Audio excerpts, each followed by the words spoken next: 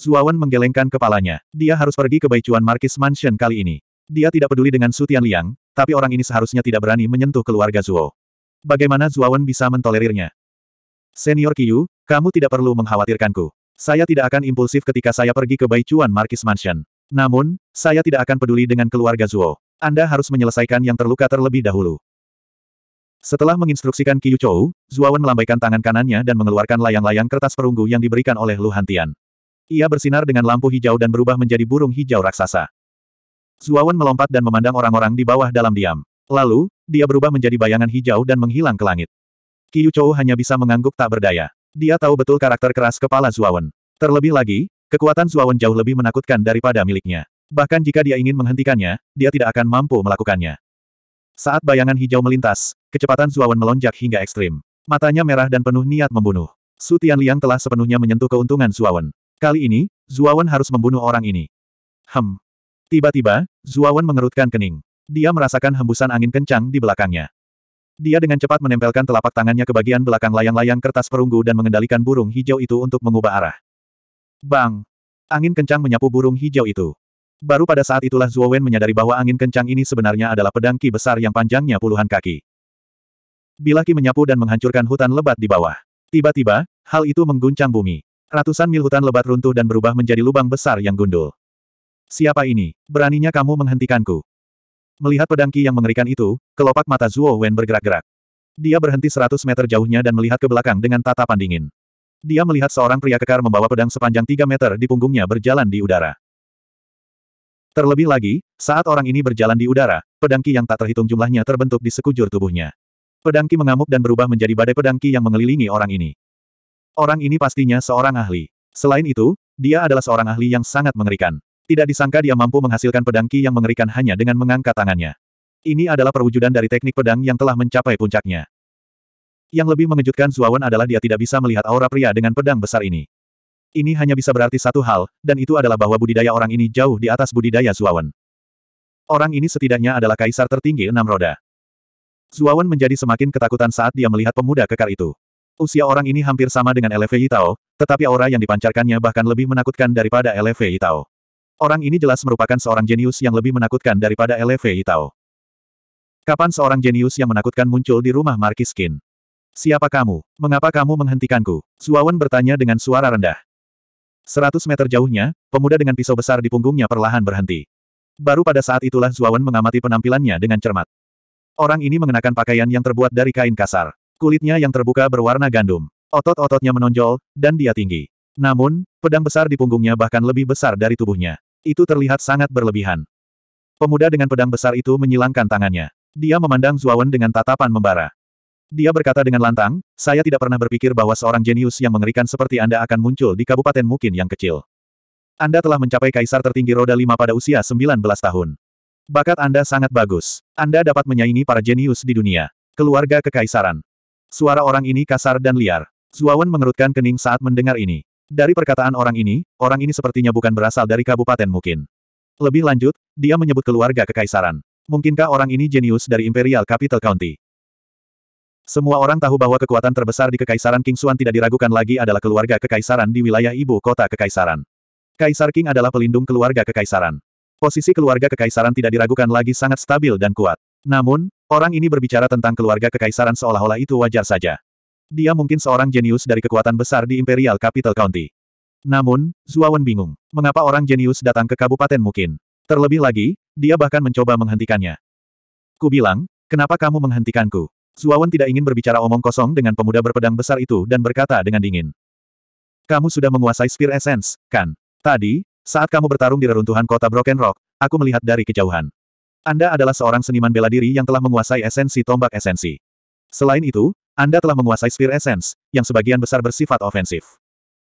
Berbicara tentang ini, pemuda dengan tatapan pedang besar itu menjadi sangat panas. Seolah-olah dia telah menemukan mainan favorit, yang membuat kulit kepala Zuawan tergelitik. Namun, kata-kata pemuda dengan pedang besar itu mengejutkan Zuawan. Orang ini memang tidak sederhana. Dia sebenarnya tidak memperhatikan orang di dekatnya ketika dia berada di reruntuhan kota Broken Rock.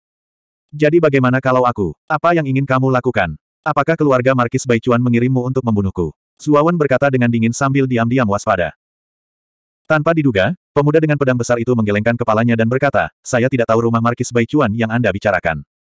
Saya tidak sengaja melewati reruntuhan kota Broken Rock dan melihat bahwa Anda benar-benar menguasai tombak intinya. Jadi tanganku gatal dan aku ingin meminta nasihatmu. Berbicara tentang ini, pemuda dengan pedang besar itu menggosok tangannya dan menunjukkan sedikit kegembiraan di wajahnya. Mendengar ini, Zuawan tidak bisa menahan diri untuk tidak berkata-kata. Ternyata orang tersebut adalah seorang fanatik pencak silat. Dia sebenarnya datang untuk meminta nasihat karena masalah sepele seperti itu. Zuawan sebenarnya tidak bisa berkata-kata. Aku punya masalah mendesak sekarang dan harus segera kembali ke ibu kota kabupaten. Jadi, aku tidak bisa menemanimu sekarang. Zuawan menangkupkan tinjunya dan menepuk burung hijau itu dengan tangan kanannya. Dia bermaksud meninggalkan tempat ini, tetapi pedangki menerobos kehampaan dan benar-benar menghalangi jalan Suawan. Saya tidak peduli apakah Anda memiliki masalah mendesak atau tidak. Hari ini, saya harus meminta nasihat Anda. Jika tidak, jangan berpikir untuk pergi. Pemuda dengan pedang besar itu menggelengkan kepalanya dan berkata dengan ekspresi tenang. Kau tidak akan membiarkanku pergi. Hanya olehmu. Melihat pemuda dengan pedang besar berulang kali menghalanginya, Zuawan juga kesal. Sekarang anggota klan keluarga Zuo telah dibawa pergi oleh Su Tianliang, jika dia terlambat selangkah, anggota klannya akan berada dalam bahaya yang lebih besar. Bagaimana dia bisa membuang waktu di sini? Haha, hanya olehku, tunjukkan padaku niat tombakmu. Saya belum pernah melihat orang di luar kota kekaisaran menguasai alam niat semacam ini untuk waktu yang lama.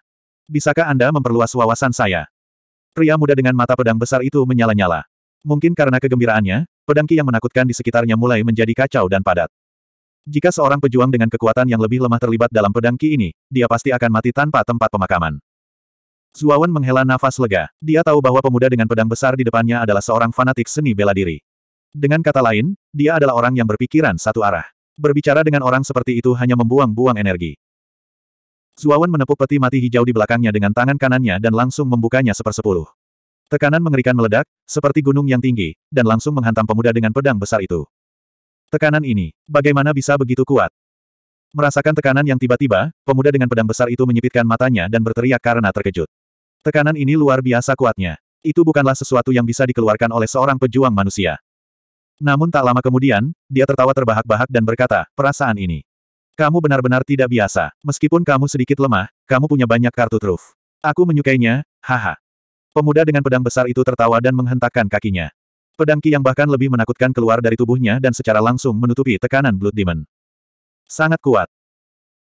Sepersepuluh dari tekanan adalah sesuatu yang bahkan ahli rilem kaisar tertinggi roda kelima tidak dapat menahannya, namun orang ini telah langsung mematahkannya dan terlihat begitu santai. Seberapa kuatkah orang ini? Aku tidak bisa membuang waktu bersamanya. Saya harus bergegas ke kota kekaisaran. Sambil mendengus dingin, Zuo Wen menamparkan peti mati hijau itu lagi. Kali ini, dia langsung membukanya dengan selisih seperlima. Seketika, tekanan di sekitarnya meningkat beberapa kali lipat, langsung menembus pedang ki yang menakutkan di sekitar pemuda dengan pedang itu. Eh, menarik. Bahkan bisa menguat. Sangat menarik. Tubuh pemuda itu tenggelam, namun dia tersenyum lebih bahagia. Dia mengeluarkan pedang raksasa di punggungnya, dan aura misterius dan menakutkan menyapu bersama dengan pedang ki. Itu justru memblokir tekanan yang telah diperkuat beberapa kali. Konsep, orang ini juga menguasai sebuah konsep. Apa yang dia gunakan tadi adalah niat pedang. Saat pemuda dengan pedang besar itu mengeluarkan pedang besarnya, Zuawan mengerutkan kening. Pemuda dengan pedang besar ini sangat kuat. Dia benar-benar memberikan perasaan menghadap gunung. Orang ini jelas merupakan seorang jenius yang luar biasa, jauh lebih mengerikan daripada LV Itao. Luar biasa, luar biasa. Pemuda dengan pedang besar itu menjabat tangan kanannya, dan pedang besar di tangannya tercurah seperti tirai hujan, samar-samar menunjukkan tanda-tanda tekanannya terlalu kuat. Ekspresi Zuawan tiba-tiba berubah. Dia berkata pada dirinya sendiri, aku tidak bisa berlarut-larut lagi. Aku harus segera pergi. Memikirkan hal ini, Zuawan langsung mengendalikan layang-layang kertas perunggu. Dengan suara mendesing, itu berubah menjadi bayangan hijau dan menghilang ke cakrawala. Kecepatannya hampir secepat mungkin. Istirahat, istirahat, istirahat. Di saat yang sama, pemuda dengan pedang besar itu menebas sepuluh kali berturut-turut, masing-masing serangan lebih ganas dari yang terakhir. Meskipun terlihat seperti serangan biasa, dengan dukungan niat pedang misterius, kekuatannya sangat menakutkan. Retakan. Tekanan di sekitarnya langsung dipatahkan oleh kekuatan pedang yang menakutkan. Pemuda dengan pedang besar itu melayang ke langit dan tertawa liar. Menarik, menarik. Anda jelas hanya seorang kaisar terhebat beroda lima, tetapi Anda benar-benar dapat memberikan tekanan yang begitu menakutkan. Ayo terus berjuang. Eh, di mana dia? Setelah menembus tekanan, pemuda dengan pedang besar itu tertawa terbahak-bahak. Saat dia hendak bertukar beberapa gerakan lagi dengan Zuawan, dia tiba-tiba menyadari bahwa lingkungan sekitarnya kosong. Zuawan sudah menghilang. Orang itu baru saja mengatakan bahwa dia memiliki urusan mendesak yang harus diselesaikan di ibu kota prefektur. Mungkinkah dia benar-benar pergi ke ibu kota prefektur? Tidak, aku harus mencarinya lagi. Jarang sekali bertemu lawan dengan temperamen seperti itu. Saya tidak boleh melewatkan kesempatan ini. Dengan itu, pemuda dengan pedang besar itu menyingkirkan pedang besarnya. Dengan hentakan kakinya, pedang ki yang tak terhitung jumlahnya tersapu. Seluruh tubuhnya berubah menjadi seberkas cahaya yang mengalir dan menghilang ke cakrawala. Jika Zuo Wen tahu bahwa orang ini seperti permen lengket, menempel padanya tanpa melepaskannya, bagaimana perasaannya?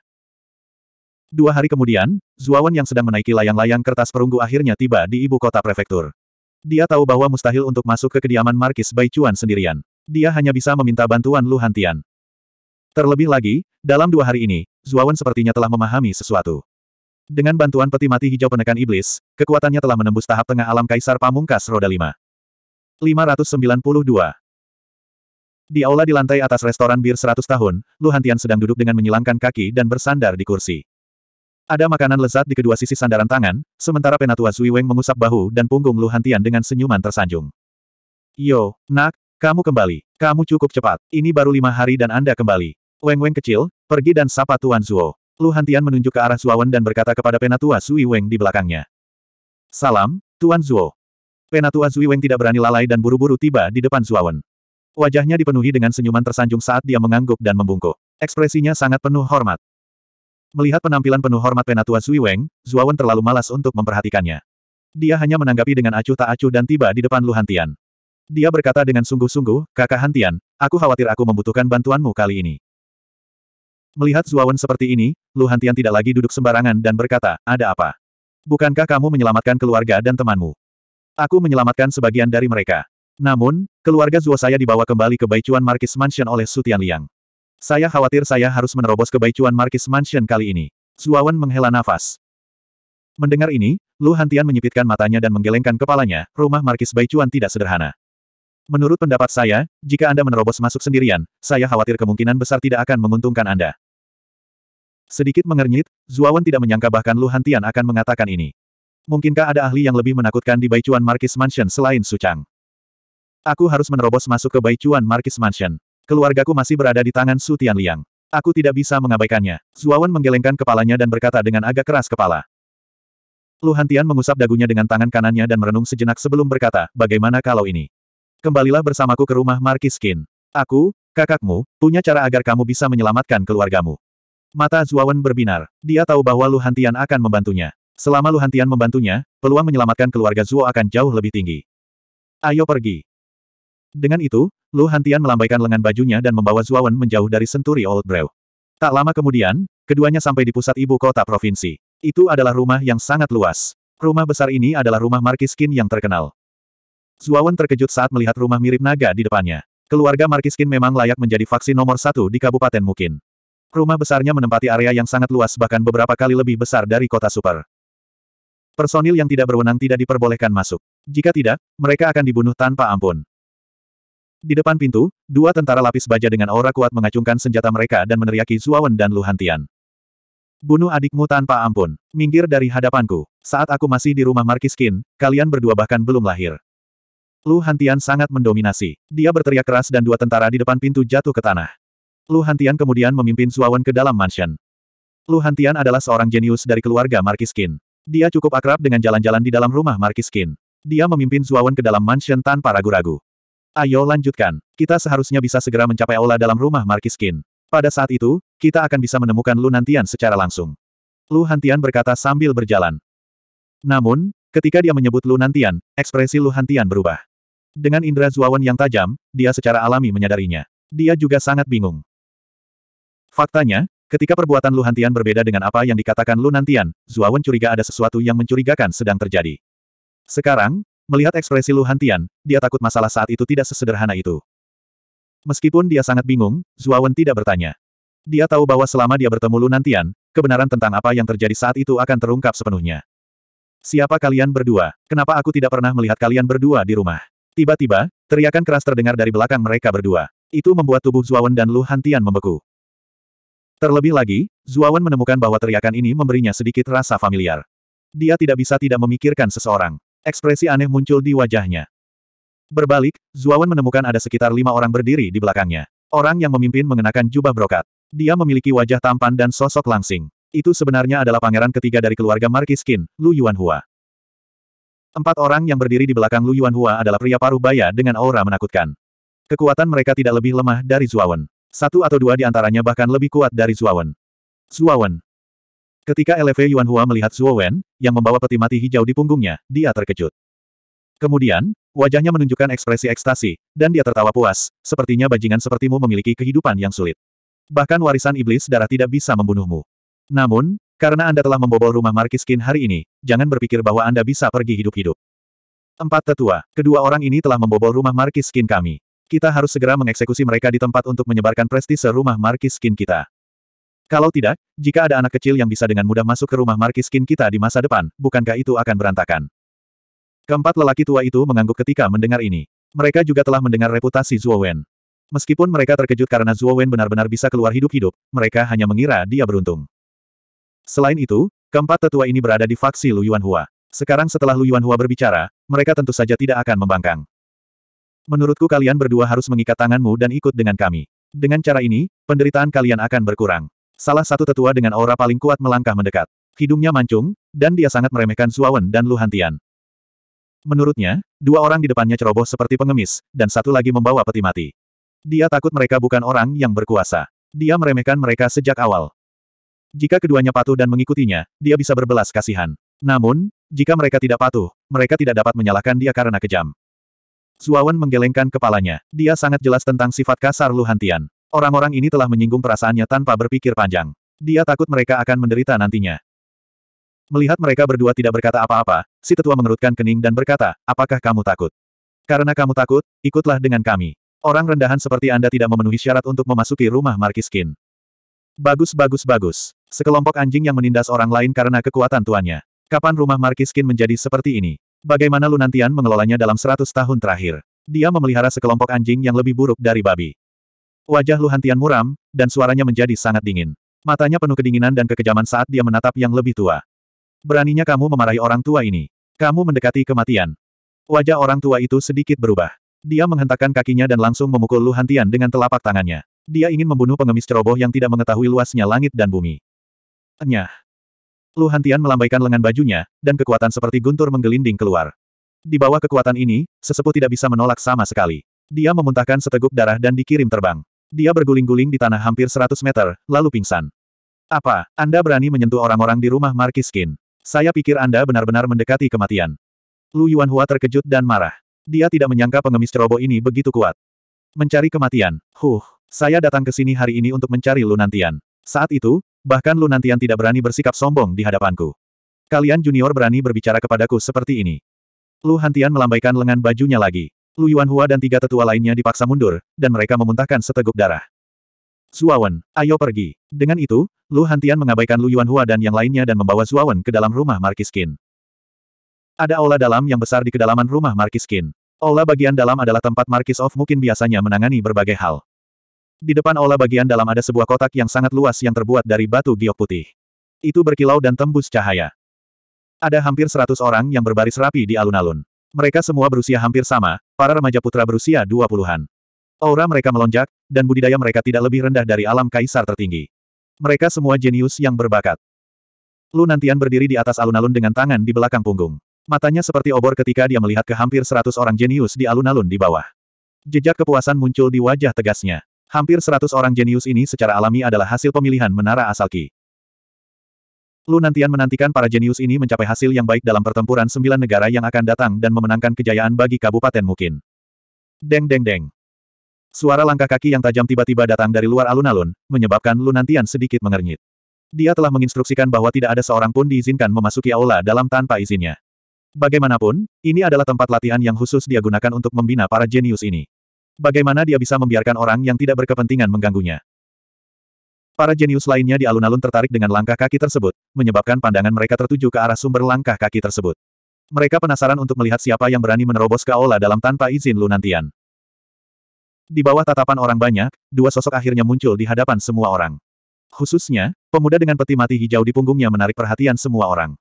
Karena kemunculan pemuda itu, alun-alun juga menjadi sunyi senyap.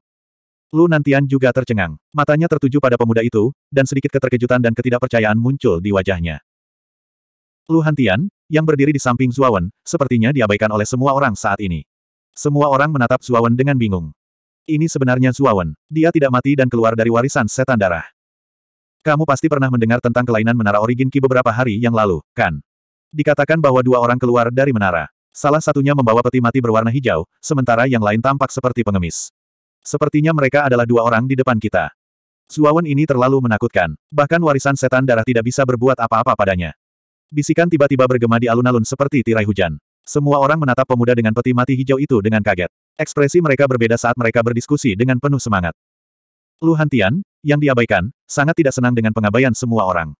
Dia berkata dengan keras, Lu Nantian, mengapa kamu tidak pergi ke sini? 593.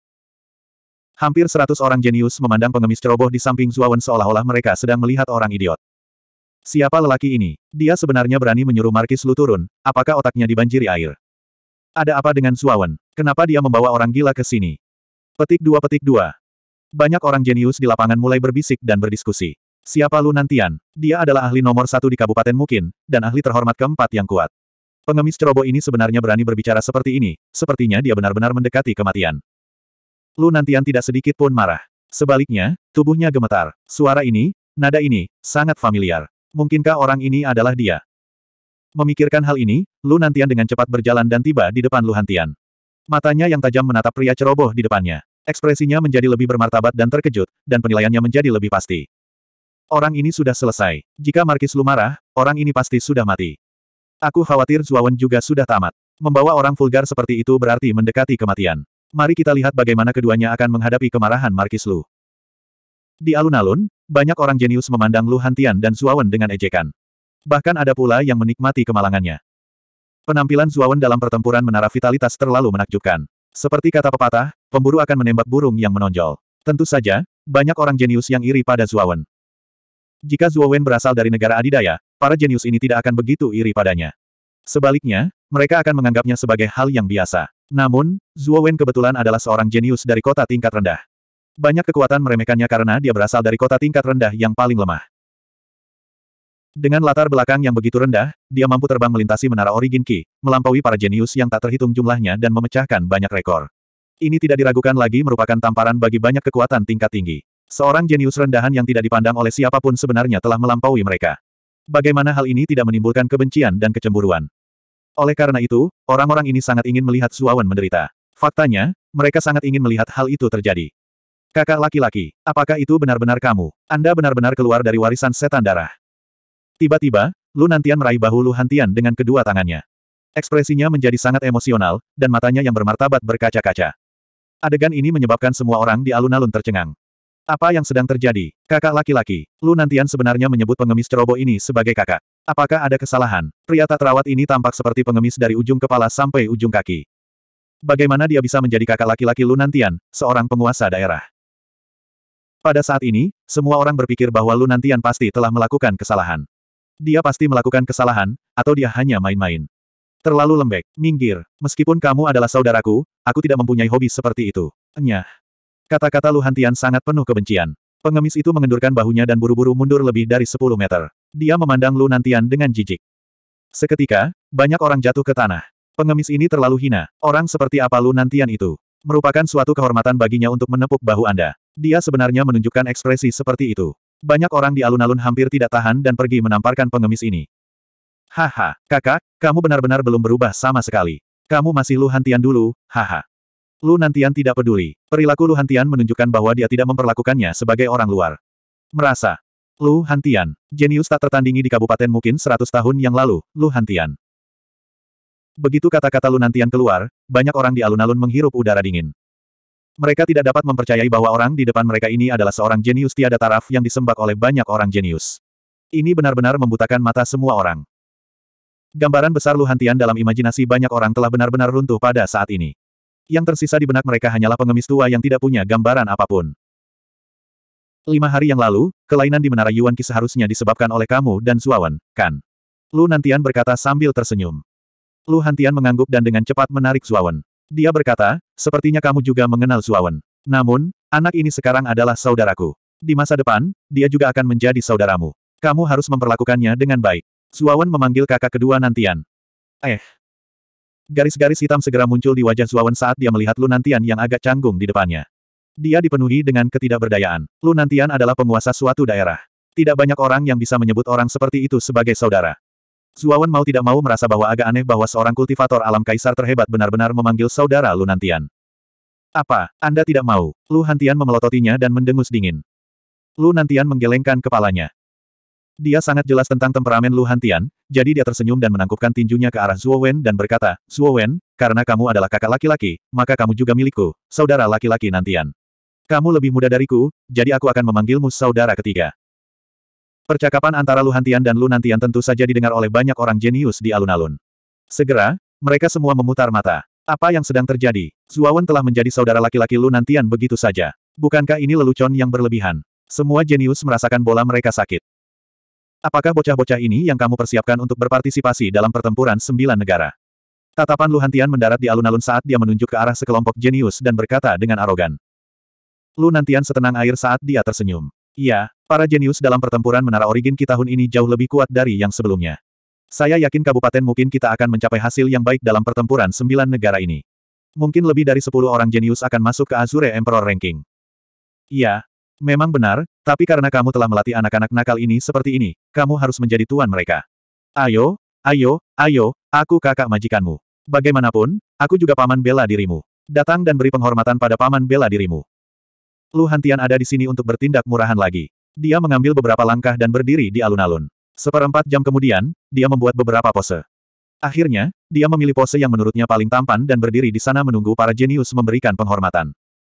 Eh, semua orang jenius tidak bisa berkata-kata. Lu Hantian ini terlalu murah. Mereka sangat ingin naik dan menamparnya, tetapi mereka tidak berani. Bahkan Lu Hantian tidak berani bersikap kurang ajar di depan Lu Hantian. Jelas sekali, Lu Hantian juga seorang ahli yang mulia keempat. Lupakan, Lu Hantian adalah seorang jenius yang tiada taranya di masa lalu. Sudah sepantasnya mereka memberi penghormatan kepadanya. Salam, paman bela diri Lu. Kelompok jenius memiliki wajah yang pahit. Mereka hanya bisa menghibur diri mereka sendiri di dalam hati. Kemudian, mereka dengan enggan memberikan penghormatan kepada Lu Hantian. Aiya, inilah manfaat menjadi tampan. Hidup ini sepi seperti salju. Lu Hantian tersenyum nakal, lalu menggelengkan kepalanya. Wajahnya menunjukkan ekspresi kesepian dan sedih, yang membuat wajah semua orang berkedut secara tidak wajar. Juga, Zuawan ini adalah saudaraku. Ngomong-ngomong, dia juga paman bela dirimu. Ayo, ayo, ayo, beri hormat pada Zuawan. Lu Hantian tidak menyerah. Dia segera menarik Zuawan dan menyeringai pada orang-orang jenius di alun-alun. Senyumannya sangat cabul. Sial, tidak apa-apa jika mereka memberi hormat kepada Anda, tapi Zuawan ini lebih muda dari mereka. Meskipun dia kuat, dia tetap dianggap sebagai rekan mereka. Bagaimana mereka bisa memberi penghormatan kepada Zuawan? Semua orang membeku dan mulai ragu. Mereka tidak bisa menerima pemberian penghormatan kepada Zuawan. Apa, Anda tidak ingin memberikan penghormatan? Apakah kamu tidak memberiku wajah apa pun, Lu Hantian? Wajah Lu Hantian menjadi dingin. Tekanan yang sangat mengerikan dikeluarkan. Seketika, semua orang di alun-alun merasa seolah ada gunung yang menekan punggung mereka. Wajah semua orang dipenuhi ketakutan. Lu Hantian ini terlalu menakutkan. Tekanan yang dia keluarkan saja sudah cukup untuk membuat mereka tidak bisa berdiri. Salam, Paman Bela Diri Zuo. Di alun-alun, semua orang tidak berdaya. Mereka hanya bisa menurunkan tubuh dan memberi hormat kepada Zuawan. Lu Hantian ini kuat dan tidak tahu malu. Sungguh sialnya mereka bisa bertemu dengan Paman Bela Diri seperti itu. Di sisi lain alun-alun, mata Lu Nantian bersinar terang. Ketika Lu Hantian mengeluarkan tekanannya, bahkan dia sedikit tidak stabil. Tampaknya budidaya kakak laki-lakinya tidak mengalami kemunduran selama ratusan tahun warisan setan darah. Kekuatannya jelas melebihi kekuatannya sendiri. Lu Hantian mengungkapkan ekspresi puas. Saat dia hendak membawa Zuawan dan Lu Nantian ke aula dalam untuk membahas masalah kediaman Markis dari Baichuan, sekelompok sepuluh orang tiba-tiba memasuki alun-alun. Orang yang memimpin mengenakan pakaian ungu yang mewah. Ada bekas niat membunuh di wajahnya saat dia bergegas ke alun-alun. Zuawan mengenali orang ini. Itu adalah pangeran kedua dari keluarga Markis Qin, Lu Yongsheng. Di sampingnya ada Lu Yuanhua yang berwajah pucat. Di belakang mereka berdua ada sekelompok jenderal berbaju besi. Masing-masing memiliki aura yang menakutkan. Mereka semua adalah ahli yang telah mencapai alam kaisar tertinggi. Lu Yongsheng dan Lu Yuanhua dengan cepat berjalan ke sisi Lu Nantian. Lu Yongsheng menatap dingin ke arah Zuawan dan berkata kepada Lu Nantian, Tuan Ayah. Tidak hanya kedua orang ini masuk tanpa izin ke rumah Markis Qin kami, mereka juga melukai empat orang tua dan saudara laki-laki ketiga. Tindakan mereka keji dan berani. Kedua orang ini pantas mati. Tuhan Bapa, tolong tegakkan keadilan bagi kami. Begitu Lu Yongsheng mengatakan ini, suasana di alun-alun segera menjadi tenang. Semua orang menatap kelompok Lu Yongsheng dengan tatapan aneh. Seolah-olah mereka sedang menonton pertunjukan badut. Jika Lu Yongsheng mengetahui bahwa pengemis yang dituduhnya adalah Lu Hantian, bagaimana perasaannya? Lu Yongsheng juga memperhatikan tatapan aneh orang-orang di sekitarnya dan sedikit mengernyit. Meskipun dia tidak mengerti arti di balik ekspresi mereka, dia tidak peduli. Padahal, dia sudah menekan perutnya yang penuh amarah. Zuawan ini terlalu lancang. Meskipun dia terkejut dengan kemunculan Zuawan, orang ini terlalu berani. Dia tidak hanya mengalahkan dia dan Lu Yuanhua di pagoda asal Qi, tetapi sekarang dia bahkan datang ke rumah Markis Qin untuk menimbulkan masalah. Jika Lu Yongsheng tidak menyingkirkan Zuawan hari ini, akan sulit menghilangkan kebencian di hati Lu Yongsheng. Seorang junior masih berani sombong. Ayo, ayo, ayo. Karena menurutmu kita pantas mati, datang dan potong aku. Ya, potong di sini. Ingatlah untuk memotong dengan akurat. Jangan lewatkan. Lu Hantian mulai bertindak tanpa malu-malu lagi. Dia mencibir dan menunjuk ke lehernya, membual tanpa malu-malu. Kesombongannya jauh lebih arogan daripada Lu Yongsheng. Lu Yongsheng tercengang. Dia tidak menyangka pengemis ini begitu menyebalkan. Dia dengan dingin mendengus dan berkata, kamu mengatakannya. Jika aku tidak sengaja membunuhmu, jangan salahkan aku. 594. Ayah, mengapa kamu menghentikanku? Pada saat ini, LV Yongsheng sedang melihat Lu Nantian dengan ekspresi bingung. Orang yang menghentikannya adalah Lu Nantian. Berlutut, meminta maaf. Ekspresi Lu Nantian serius saat dia mengucapkan kata-kata ini, menyebabkan LV Yongsheng dan yang lainnya tercengang. Ayah, apa yang baru saja kamu katakan? Anda ingin saya berlutut dan meminta maaf. Mengapa? Mata LV Yongsheng terbuka lebar saat dia berbicara dengan wajah penuh rasa tidak percaya. Dia hampir mengira dia salah dengar. Bajingan, kenapa kamu tidak berlutut? Tahukah kamu siapa dia? Dia adalah pamanmu, Lu Hantian. Dari mana kamu mendapat keberanian untuk bersikap kurang ajar di depan pamanmu? Lu Nantian dengan dingin mendengus saat aura menakutkan menyembur keluar dan menutupi tubuh LV Yongsheng. Dengan suara, celepuk, LV Yongsheng berlutut di tanah. Lu Yuanhua dan orang lain di belakangnya juga berlutut di tanah tanpa kecuali. Aura empat ahli yang mulia terlalu menakutkan. Itu bukanlah sesuatu yang bisa mereka tolak. Lu Hantian. Namun, mereka tidak peduli kalau mereka berlutut di tanah. Mereka semua memandang pengemis yang berdiri di samping Zuawan dengan kaget. Orang ini sebenarnya adalah Lu Hantian, seorang jenius tiada taraf yang mereka sembah sejak mereka masih muda. Namun, mereka juga tahu bahwa karena Lu Nantian berkata demikian, dia pasti tidak berbohong kepada mereka. Mata mereka berkedip ketika LV Yongsheng dan yang lainnya hanya bisa menundukkan kepala dan berkata, baru saja, kami buta dan menyinggung paman. Kami harap Anda dapat memaafkan kami. Lu Hantian menggelengkan kepalanya dan tidak memperhatikan LV Yongsheng. Sebaliknya, dia berkata kepada Lu Nantian, jika rumah Markis Qin ingin terus berkembang, maka Anda perlu mengelola rumah besar ini dengan baik. Namun, Nantian, Anda jelas tidak memuaskan saya. Lu Nantian tampak malu dan berkata, kakak, adalah kesalahanku yang membuat rumah Markis Qin begitu kacau. Sekarang setelah Anda kembali, rumah Markis Qin akan dikelola oleh Anda, kakak. Semua orang kaget saat mendengar ini. Mereka tidak pernah menyangka bahwa Lu Nantian akan benar-benar menyerahkan wewenang untuk mengelola rumah Markis Qin. Itu adalah posisi penguasa suatu daerah. Status dan wewenangnya praktis tertinggi di kabupaten mungkin. Tidak dibutuhkan. Saya kembali kali ini karena Zuawan. Kalau tidak, saya mungkin tidak akan pernah masuk ke rumah Markis Qin. Anda telah bertanggung jawab atas rumah Markis Qin selama bertahun-tahun. Menyerahkannya padaku hanya akan memperburuk keadaan. Anda harus menyimpannya untuk diri Anda sendiri. Lu Hantian melambaikan tangannya dengan putus asa. Kakak laki-laki, ayah tidak melakukan itu dengan sengaja. Dia tidak punya pilihan lain. Saya harap Anda tidak membencinya. Lu Nantian berkata dengan ragu-ragu. Baiklah, Jangan bicara tentang masa lalu. Apakah orang tua itu sudah mati? Lu Hantian menyipitkan matanya dan mendengus dingin. Ayah meninggal sepuluh tahun yang lalu, kata Lu Nantian sedih. Eh, mati. Tubuh Lu Hantian bergetar. Pupil matanya mengecil saat dia berkata dengan terkejut. Itu Su Ling Tian. Lu Nantian berkata dengan kebencian di matanya. Su Ling Tian. Itu orang tua itu lagi. Saya pikir orang tua itu akan benar-benar pergi. Dia benar-benar tinggal di daerah itu selama hampir seratus tahun. Suara Lu Hantian menjadi sangat dingin. Zuawan bingung saat mendengar ini. Dari percakapan keduanya, Zuawan tahu bahwa Su Lingtian tidak sederhana. Jika tidak, bahkan Lu Hantian akan mengungkapkan ekspresi ketakutan. Ayo pergi ke aula dalam untuk bicara. Saya telah kembali ke rumah Markis Qin untuk melunasi beberapa hutang lama selain masalah Zuawan, kata Lu Hantian dengan suara acuh tak acuh. Lu Nantian mengangguk. Matanya menunjukkan sedikit harapan. Dia memberikan beberapa instruksi kepada orang lain di alun-alun dan memimpin Lu Hantian dan Zuawan ke aula dalam yang megah. Setelah Lunantian dan dua orang lainnya pergi, sebagian besar orang jenius di alun-alun juga bubar. Kelompok Lu Yongsheng yang terdiri dari sepuluh orang berdiri di tepi alun-alun. Ekspresi mereka sangat rumit. Tak satu pun dari mereka menyangka bahwa si jenius yang tiada taranya, Lu Hantian, masih hidup. Selain itu, dia telah kembali ke rumah Markis Qin. Saudara ketiga, kita tidak boleh memprovokasi Zuawan ini. Anda dan saya harus sangat jelas tentang perbuatan paman tertua kita, Lu Hantian. Jelas sekali bahwa anak ini dan paman tertua kami keluar dari warisan setan darah bersama-sama. Mereka memiliki hubungan dekat. Anda tidak harus memprovokasi dia lagi. Jika tidak, paman tertua kami mungkin tidak peduli dengan ikatan keluarga dan memperlakukan Anda dengan kejam. Lu Yongsheng menghela nafas dalam hati. Dia memandang Lu Yuanhua, yang masih tidak mau menyerah. Sejak kecil, penduduk rumah Markis Qin paling memuja Lu Hantian. Oleh karena itu, mereka sangat jelas tentang perbuatan dan temperamen Lu Hantian. Justru karena mereka memahami temperamen Lu Hantian, Lu Yongsheng tidak berani memprovokasi Zuawan. Dia sangat jelas bahwa jika Lu Hantian menjadi gila, dia benar-benar bisa melakukan apa saja. Aku tahu, saudara kedua. Di masa depan, aku tidak akan memprovokasi Zuawan lagi. Lu Yuanhua mengepalkan tinjunya dan berkata sambil tersenyum pahit. Lu Yuanhua tiba-tiba menyadari bahwa dia telah dikalahkan sepenuhnya.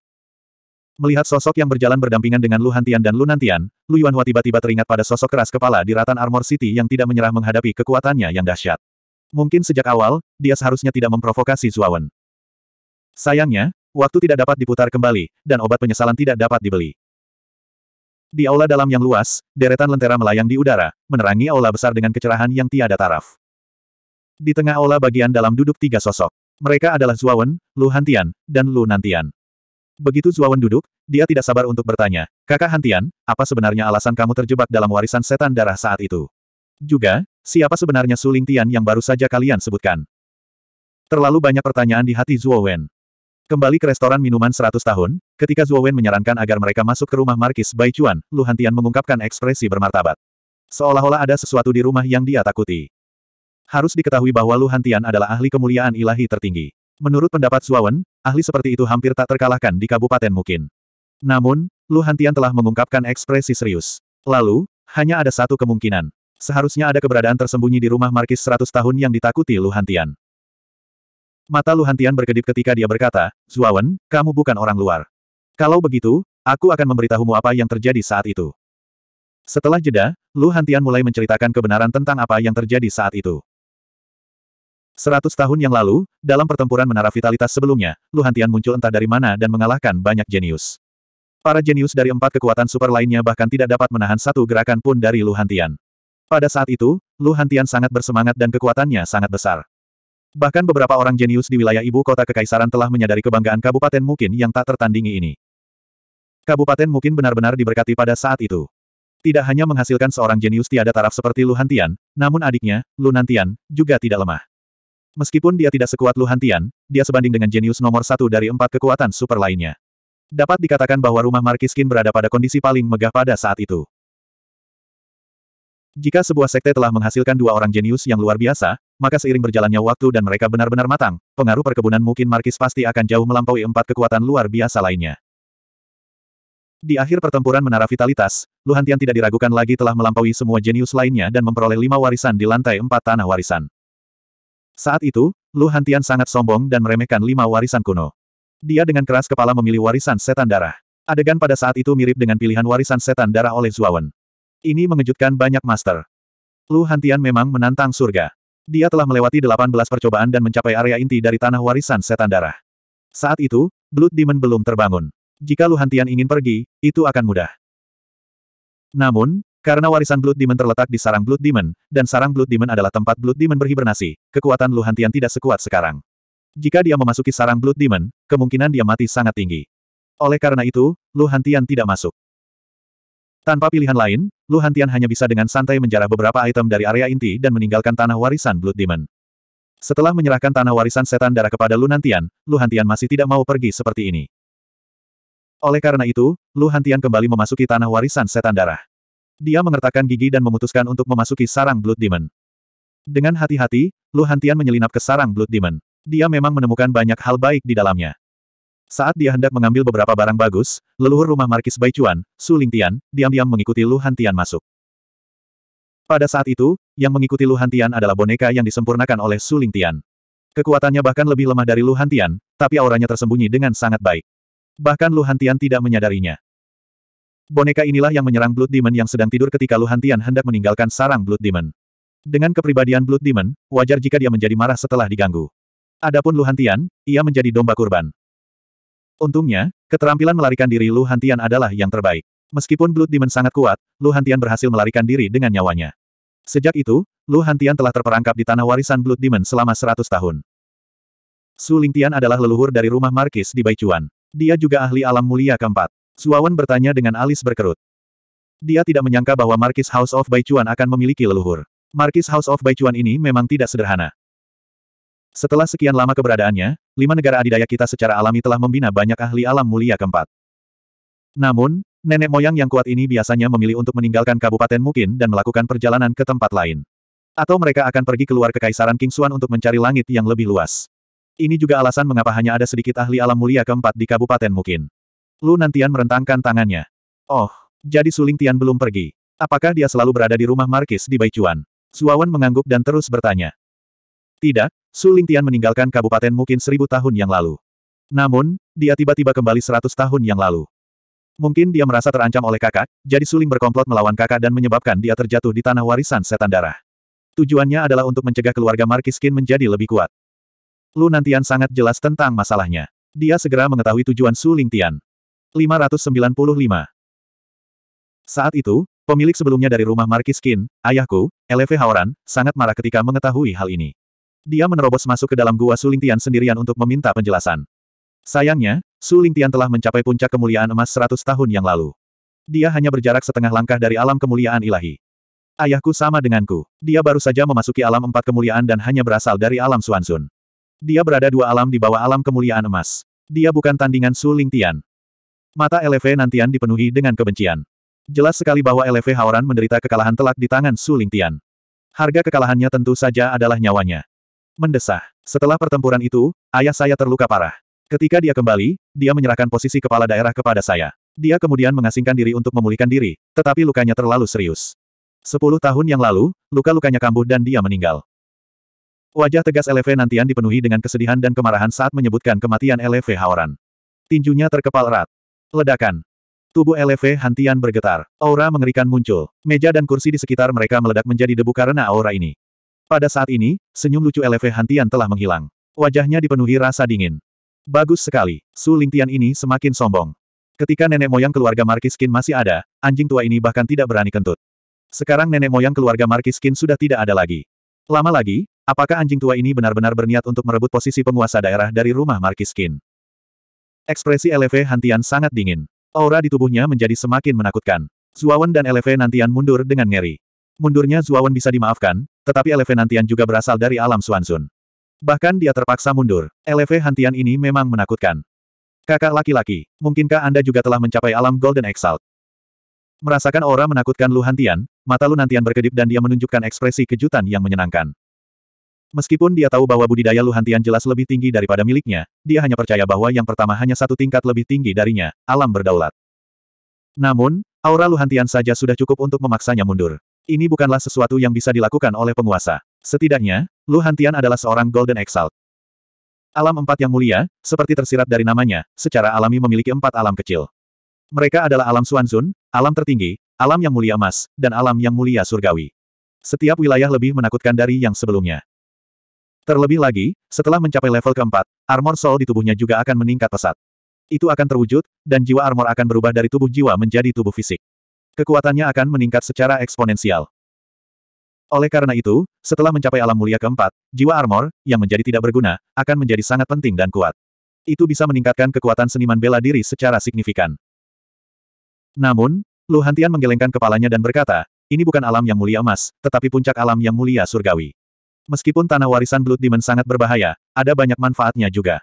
Energi langit dan bumi di dalamnya jauh lebih kaya. Satu hari berkultivasi di dalam setara dengan satu bulan berkultivasi. Ini hampir 30 kali lebih cepat dari dunia luar. Mendengar ini, Zuawan dan Lu Nantian mengangguk. Pantas saja budidaya Lu Hantian begitu cepat. Ternyata tanah warisan Blood Demon memiliki manfaat seperti itu.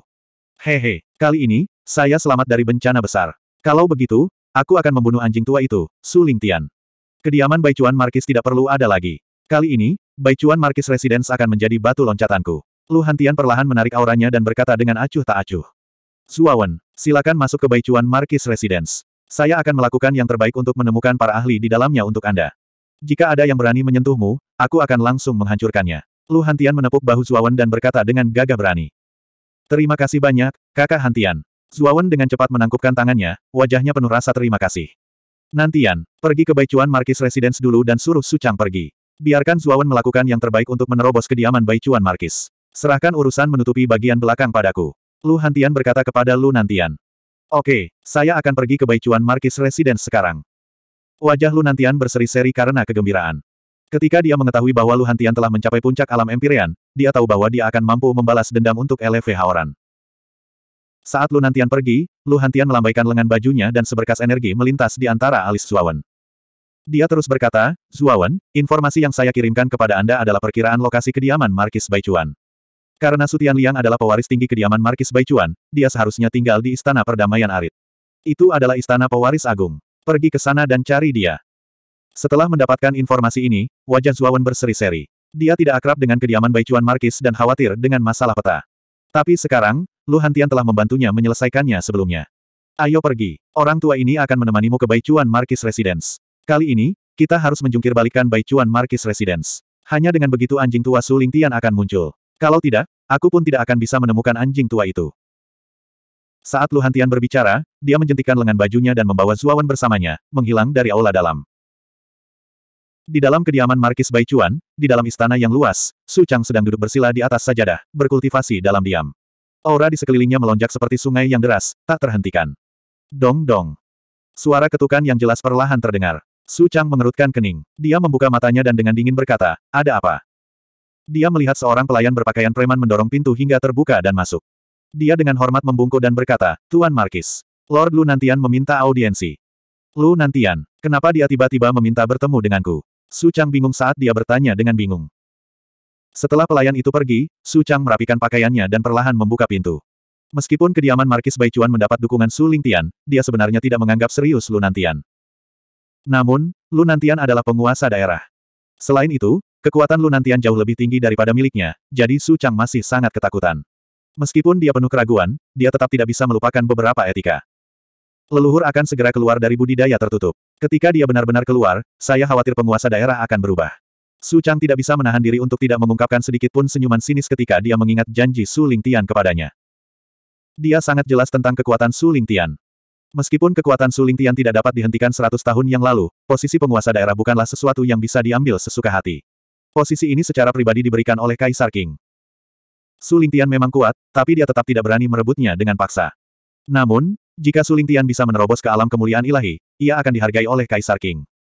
Pada saat itu, selama Su Lingtian bertanya, Kaisar King mungkin akan menyetujui masalah pergantian penguasa daerah. Beberapa hari yang lalu, leluhur mengatakan bahwa dia akan menerobos ke alam kemuliaan ilahi. Tampaknya hari kediaman Markis Baichuan kita menjadi penguasa daerah mungkin semakin dekat. Hehe. Memikirkan hal ini, sudut mulut Su Chang melengkung menjadi senyuman puas. Ia tidak lagi begitu takut pada Lu Nantian karena menurutnya, Lu Nantian ini ditakdirkan untuk tunduk padanya. Di aula, Lu Nantian tersenyum dan duduk dengan tenang di kursinya, dengan santai menyeruput teh seolah tempat ini adalah rumahnya. Ketika Su Chang memasuki aula dan melihat Eleven Nantian yang santai dan puas, ada sedikit ketidaksenangan di antara alisnya. Dia benar-benar tidak menyukai ekspresi Eleven Nantian yang santai dan puas, seolah-olah semuanya ada di tangannya. Namun, ketika dia mengingat kata-kata Su Lingtian, dia tidak terlalu memperhatikannya. Sebaliknya, dia tersenyum dan berkata, bolehkah saya tahu mengapa saudara Lu tiba-tiba datang ke kediaman saya? Haha, saudara Su, sudah lama sekali saya tidak mengobrol baik dengan Anda. Aku tidak ada urusan hari ini, jadi aku ingin ngobrol baik denganmu. Aku bahkan membawa banyak anggur dan makanan lesat. Sudut mulut Lu Nantian melengkung membentuk senyuman. Dengan lambaian lengan bajunya, sebuah meja persegi panjang muncul di tengah aula. Itu diisi dengan anggur yang kaya dan lesat. Anggurnya manis dan lembut seperti nektar, dan aromanya meresap ke udara.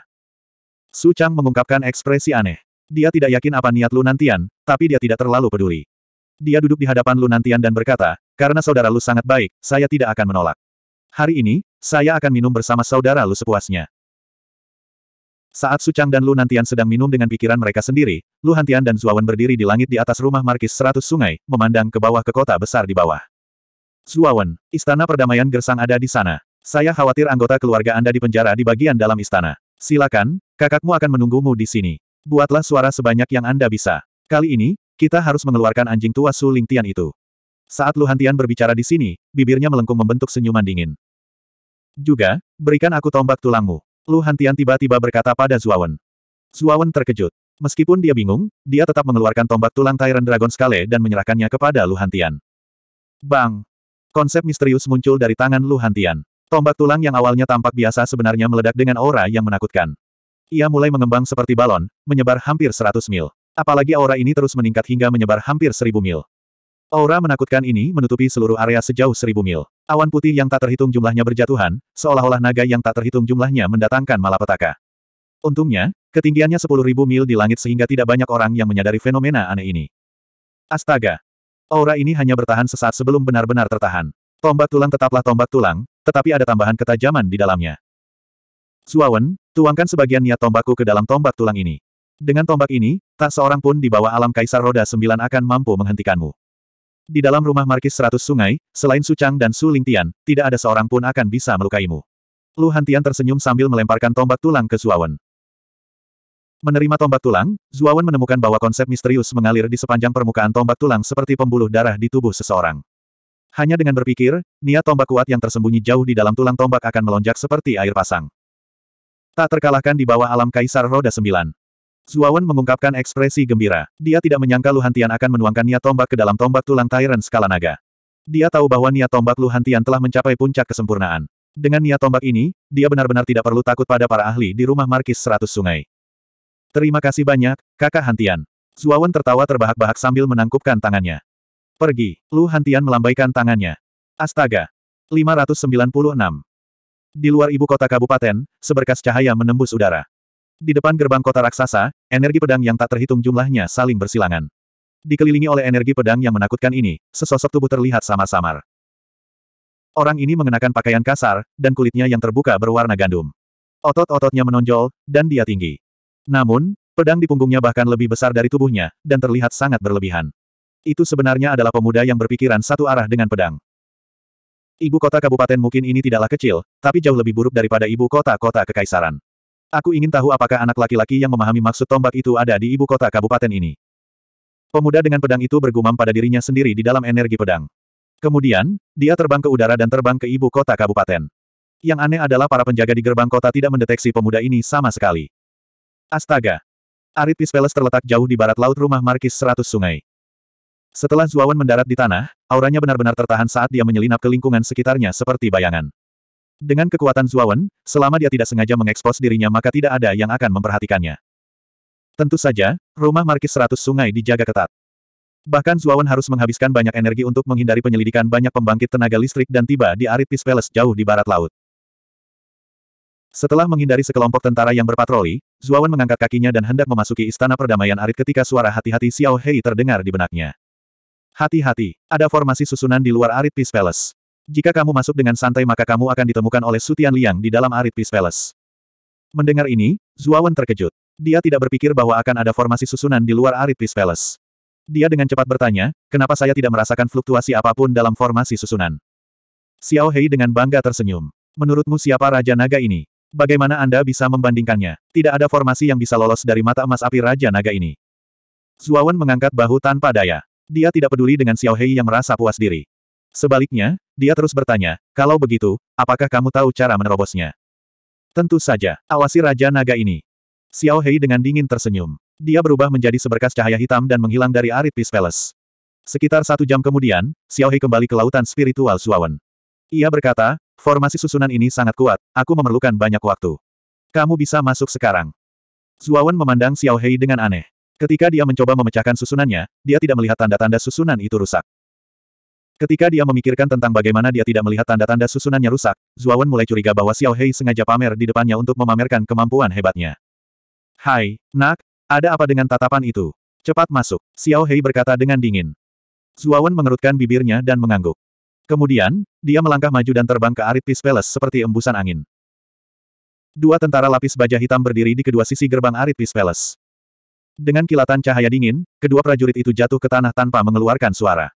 Kemudian, sesosok hantu melintas melewati mereka dan memasuki istana. Di dalam pintu masuk ada koridor yang dalam. Lampu menyala di kedua sisi, membuat koridor gelap tampak seterang siang hari. Zuawan berjalan dengan hati-hati. Sebelum dia menemukan keluarga Zuo, dia tidak berani memperingatkan musuh. Lagi pula, jika dia melakukannya, Sutian Liang mungkin akan melakukan sesuatu terhadap keluarga Zuo. Dengan bantuan Xiao Hei, Zuawan menahan auranya secara ekstrim. Dia seperti bayangan di bawah cahaya. Setelah melewati koridor, dia sampai di aula yang luas. Ada pilar-pilar batu yang didirikan di sekelilingnya, menopang seluruh aula.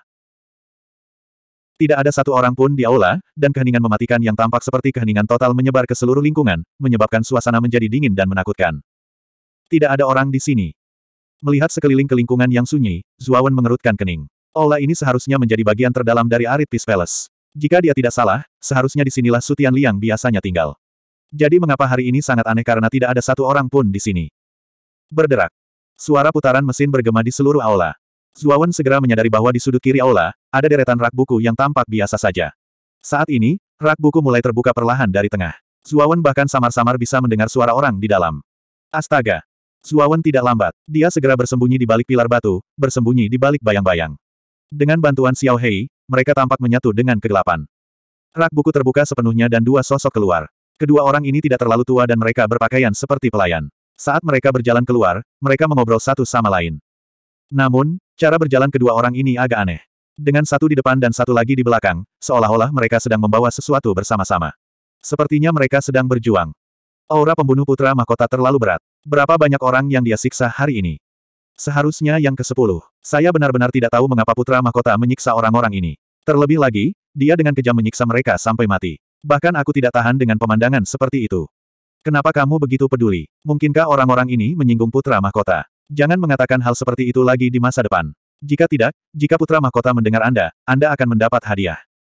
Menetes, menetes. Saat kedua orang itu berjalan melewati pilar batu Zuawan, Zuawan dapat dengan jelas mendengar suara air yang menetes ke tanah. Kemudian, dia menemukan bahwa jalan yang dilalui kedua orang itu dipenuhi dengan darah merah. Dan, darah ini mengalir dari benda yang mereka bawa. Ketika mereka berdua tiba di sisi Zuo Wen, Zuo Wen menemukan bahwa mereka berdua membawa mayat. Mayat itu milik seorang pemuda yang seumuran dengan Zuo Wen. Saat ini, darah mengalir keluar dari tujuh lubangnya. Matanya terbuka lebar dan dipenuhi kebencian. Ketika Zuawan melihat penampakan mayat ini, pupil matanya menyusut seperti jarum dan jantungnya berdetak kencang. Mayat ini sebenarnya adalah anggota keluarga Zuo. Apalagi dia juga mengenal orang tersebut. Dia adalah junior dari generasi yang sama dengan keluarga Zuo. Namanya Zuo Jun. Ketika Zuawan menjadi pemimpin paviliun-paviliun naga terselubung, Zuo Jun ini juga mengirimkan hadiah kepada Zuawan. Hubungan mereka bisa dibilang baik. Tapi sekarang, dia telah berubah menjadi mayat sedingin es. Siapa kamu? Bagaimana Anda memasuki istana perdamaian Arit? Kedua orang itu tiba-tiba menemukan Zuawan di balik pilar batu dan tidak bisa menahan diri untuk tidak berteriak keras. Mereka belum pernah melihat orang ini di Arit Peace Palace sebelumnya. Terlebih lagi, penampilan orang ini sangat asing. Jika mereka tidak menemukannya di balik pilar batu, maka mereka khawatir dia sama sekali tidak sederhana. Turunkan dia, lalu bawa aku ke kamar. Kulit Zuawan sedingin es. Dari percakapan tadi, sepertinya Sutian Liang sudah gila dan menyiksa anggota klan keluarga Zuo. Dia bahkan telah menyiksa sepuluh orang di antara mereka hingga tewas. Saat ini, hati Zuawan membara karena kecemasan. Dia harus bergegas ke kamar dan menyelamatkan anggota klannya. Kamu benar-benar bukan seseorang dari rumah Markis Seratus Sungai. Kamu benar-benar berani menyusup ke dalam rumah itu. Apakah kamu bosan hidup? Hari ini, aku akan menangkapmu dan membawamu menemui pewaris mahkota. Pelayan jangkung dan kurus yang berdiri di depan meletakkan tangan di pinggul, seringai dingin di wajahnya. Dia memandang Zuawan seolah-olah sedang melihat orang mati. Menurutnya, Zuawan hanya mencari kematian dengan menyusup ke rumah Markis Seratus Sungai. Poci. Cahaya dingin menyala dan darah mengalir keluar. Suara pelayan yang tinggi dan kurus itu tiba-tiba berakhir. Dia mencengkeram lehernya dan menatap pemuda misterius di depannya dengan ngeri. Lalu, dia perlahan merosot ke tanah. Pelayan pendek dan gemuk lainnya memandangi pelayan jangkung dan kurus yang kehabisan napas. Seluruh tubuhnya gemetar dan giginya bergemeletuk. Dengan bunyi celepuk, dia berlutut dan berkata, Tuan, tolong selamatkan nyawa saya. Jangan bunuh saya. Pelayan yang tinggi dan kurus itu lebih kuat darinya. Sekarang dia terbunuh dalam satu gerakan, pelayan pendek dan gemuk itu secara alami tahu bahwa dia bukan tandingan pemuda misterius di depannya. Dia segera berlutut dan memohon ampun. Bawa aku ke kamar, atau mati. Tatapan Zuo Wen sangat dingin. Saat dia melihat ke arah Zuo Jun, yang telah meninggal dengan mata terbuka lebar, niat membunuh di hati Zuo Wen terhadap Sutian Liang melonjak semakin hebat. Baiklah baiklah, aku akan membawamu ke kamar. Pelayan pendek dan gemuk itu tersenyum pahit dan hanya bisa setuju. Dia tahu jika dia tidak setuju, pemuda di depannya akan langsung membunuhnya dengan serangan tombak. Perlahan berjalan menuju mayat Zuo Jun, mata Zuo Wen dipenuhi kesedihan. Dia menutup mata Zuo Jun yang marah dan dengan tenang berkata, jangan khawatir. Hari ini, Su Tianliang pasti akan mati. Mendengar ini, mata pelayan pendek dan gemuk itu menunjukkan sedikit keterkejutan. Pemuda misterius ini sebenarnya ada di sini untuk membunuh putra mahkota. Dia tampak berusia kurang dari 20 tahun. Bagaimana dia bisa menjadi tandingan putra mahkota? Dia mungkin di sini untuk mati. Memikirkan hal ini, pelayan pendek dan gemuk itu menggelengkan kepalanya. Dia merasa pemuda misterius ini melebih-lebihkan dirinya sendiri. Ia justru berani menantang putra mahkota. Pimpin jalan. Jangan main-main. Tombakku akan selalu berlari lebih cepat darimu. Jika kamu tidak ingin mati, sebaiknya bawa aku ke Sutian Liang. Tatapan Zuawan dingin saat dia menempelkan ujung tombak ke punggung pelayan pendek dan gemuk itu. Aku tidak berani. Aku akan memimpin jalan untukmu. Merasakan dinginnya punggungnya, tubuh pelayan pendek dan gemuk itu menjadi dingin. Dia segera membawa Zuawan ke rak buku yang sudah dibuka. Di belakang rak buku ada terowongan yang dalam. Ada lampu minyak di kedua sisinya, jadi garis pandangnya cukup jelas. Mengikuti pelayan pendek dan gemuk itu, Zuawan perlahan memasuki terowongan, tapi dia tidak lengah. Di kedalaman terowongan, ada ruang yang sangat luas. Dinding ruangan ini terbuat dari batu, dan ada lampu besar yang tergantung di udara. Mereka seperti matahari kecil, menerangi ruang gelap ini. Ada berbagai macam alat penyiksaan di ruang ini. Saat ini, instrumen-instrumen tersebut sedikit banyak berlumuran darah. Bau darah memenuhi seluruh ruangan. Di tengah ruang ini terdapat puluhan salib kayu. Ada orang yang terikat pada salib ini. Jika Zuawan ada di sini, dia pasti akan mengenali orang-orang ini. Mereka semua adalah anggota keluarga Zuo. Kakek Zuo Xiangding, paman besar Zuo Beitian, Paman kedua Zuo Dingtian, dan Zuo Wen juga memiliki cukup banyak orang jenius di generasi yang sama. Kebanyakan dari mereka penuh dengan bekas luka dan luka di sekujur tubuh mereka. Darah merah ceri menetes ke tanah.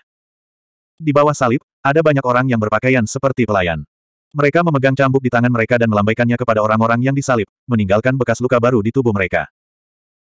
Pada saat ini, Su Tianliang sedang duduk di depan orang banyak, melihat ekspresi menyakitkan orang-orang disalib dengan tatapan mengejek. Di samping Sutian Liang berdiri seorang pria parubaya berbaju biru dengan aura menakutkan dan ekspresi dingin. Hehe, jangan salahkan aku, Su Liang. Jika Anda ingin menyalahkan seseorang, salahkan bajingan dari keluarga Zuo bernama Zuawan itu. Dia tidak hanya membunuh saudara laki-laki kedua saya, tetapi dia juga menyebabkan saya kehilangan warisan kuno saya. Dia pantas mati dalam warisan setan darah. Su Liang berkata perlahan. Pembunuhan yang bagus. Rumah Baichuan Markis Anda tidak bagus. Aku sangat benci Zuawan tidak membunuhmu saat itu. 597.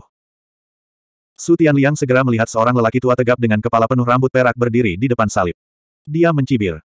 Kamu pasti Zuo Xiangding, kan? Kakek Zuawan. Hehe, emosimu sangat mirip dengan si brengsek Zuawan itu. Tapi justru inilah yang paling aku benci. Su Tianliang perlahan berdiri dan berjalan ke arah Zuo Xiangding. Dia memandang lelaki tua yang penuh luka namun tetap menolak untuk menyerah. Jejak rasa jijik muncul di mata Su Tianliang. Ekspresi ini sangat mirip dengan ekspresi Zuawan. Seperti anak anjing, seperti anjing tua. Sepertinya tuan ini tidak memperlakukanmu dengan cukup baik. Teman-teman, bawakan saya pilar merek perunggu. Saya ingin menghibur orang tua ini dengan baik, Su Tianliang mencibir. Banyak orang yang hadir memucat ketika mendengar ini. Pilar merek perunggu adalah alat penyiksaan yang sangat menakutkan. Dikatakan bahwa pilar itu terhubung ke magma jauh di bawah tanah dan tahanan akan diikat padanya. Magma itu sangat panas, cukup untuk membakar pilar merek perunggu menjadi merah. Suhunya telah mencapai hampir seribu derajat. Bahkan seorang kultivator kaisar Rilem terhebat akan menderita sakit yang tak tertahankan jika mereka terjebak di dalam pilar. Su Tianliang, kamu bajingan, datanglah padaku jika kamu memiliki kemampuan. Kemampuan macam apa itu bagi ayahku? Zuo Xiangding dan Zuo Beitian sangat marah ketika mereka berteriak serempak. Zuo Xiangding sudah terluka parah akibat penyiksaan sebelumnya. Jika dia diikat pada pilar merek perunggu, dia mungkin tidak akan bisa bertahan lama. Kalian berdua tidak perlu terburu-buru. Giliran kalian akan segera tiba. Tidak perlu terburu-buru untuk mati. Su Tianliang mencibir. Dia mengabaikan anggota keluarga Zuo yang hiruk-pikuk di belakangnya dan mengambil tongkat perunggu dari seorang pelayan. Dia membentuk segel dengan kedua tangannya dan batang kecil itu dengan cepat melebar hingga panjangnya beberapa ribu kaki. Su Tianliang membantingnya jauh ke dalam tanah. Seketika, gelombang panas yang mengerikan melanda, menyebabkan suhu seluruh ruangan melonjak seperti kompor panas. Banyak orang di dalam berkeringat deras, dan pilar perunggu yang dimasukkan ke dalam tanah langsung berubah menjadi merah. Melihat pilar merah, ekspresi banyak orang berubah. Semua orang bisa membayangkan jika mereka diikat pada pilar, niscaya mereka akan mati. Ekspresi Zuo Xiangding tidak berubah. Dia mengabaikan pilar perunggu dan menatap lurus ke arah Su Tianliang. Faktanya, ketika dia mendengar berita kematian Zuawan, hatinya sudah mati. Zuawan adalah seorang jenius paling menonjol dari garis keturunan Ryuka. Dia bahkan lebih menantang surga daripada Zuo Xiaotian. Setelah Zuo Xiaotian hilang 10 tahun yang lalu, Zuo Xiangding menaruh semua harapannya untuk menghidupkan kembali garis keturunan Ryuka pada Zuo Zuawan. Sayangnya, Zuawan juga terjatuh. Bagaimana mungkin Zuo Xiangding tidak sedih? Bagaimana mungkin dia tidak marah? Sekarang, dia menganggap enteng hidup dan mati. Bawalah benda tua ini ke sini. Saya pribadi akan mengikatnya ke pilar perunggu. Berdiri di samping pilar perunggu, Su Tianliang memandang Zuo Xiangding dengan ekspresi mengejek. Kedua pelayan itu tidak berani lalai. Mereka segera mengantar Zuo Xiangding ke depan pilar perunggu. Pria tua, apakah Anda punya kata-kata terakhir? Anda dapat mengucapkannya sekarang. Mungkin jika suasana hati saya sedang baik, saya akan membantu Anda mencapainya. Su Tianliang mencibir. Kata-kata terakhirku sederhana. Artinya, kamu, Su Tianliang, dan rumah Markis Baichuan akan dihancurkan. Kamu, yang membunuh keluarga Zuoku, tidak akan mendapatkan kematian yang baik. Zuo Xiangding menegakkan punggungnya dan berkata dengan tidak merendahkan atau sombong. Huff, kamu benar-benar keras kepala, tapi aku tidak akan peduli dengan orang yang akan mati. Su Tianliang mendengus dingin. Dengan pukulan tangan kanannya, kekuatan yang kuat melonjak. Zuo Xiangding langsung mundur dan bersandar pada pilar perunggu di belakangnya.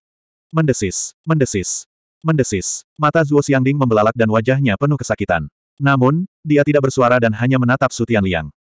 Bagian terbaiknya masih akan datang. Kamu tidak perlu menatapku, hehe. Su Tianliang mencibir. Tanpa disadari, rantai tembaga muncul di telapak tangannya. Dengan lambaian tangan kanannya, rantai tembaga melilit Zuo Xiangding seperti ular. Dia ingin mengikat Zuo Xiangding rat-rat ke pilar perunggu. Dentang. Suara benturan logam yang tajam terdengar saat kilatan dingin dengan cepat melintas di udara.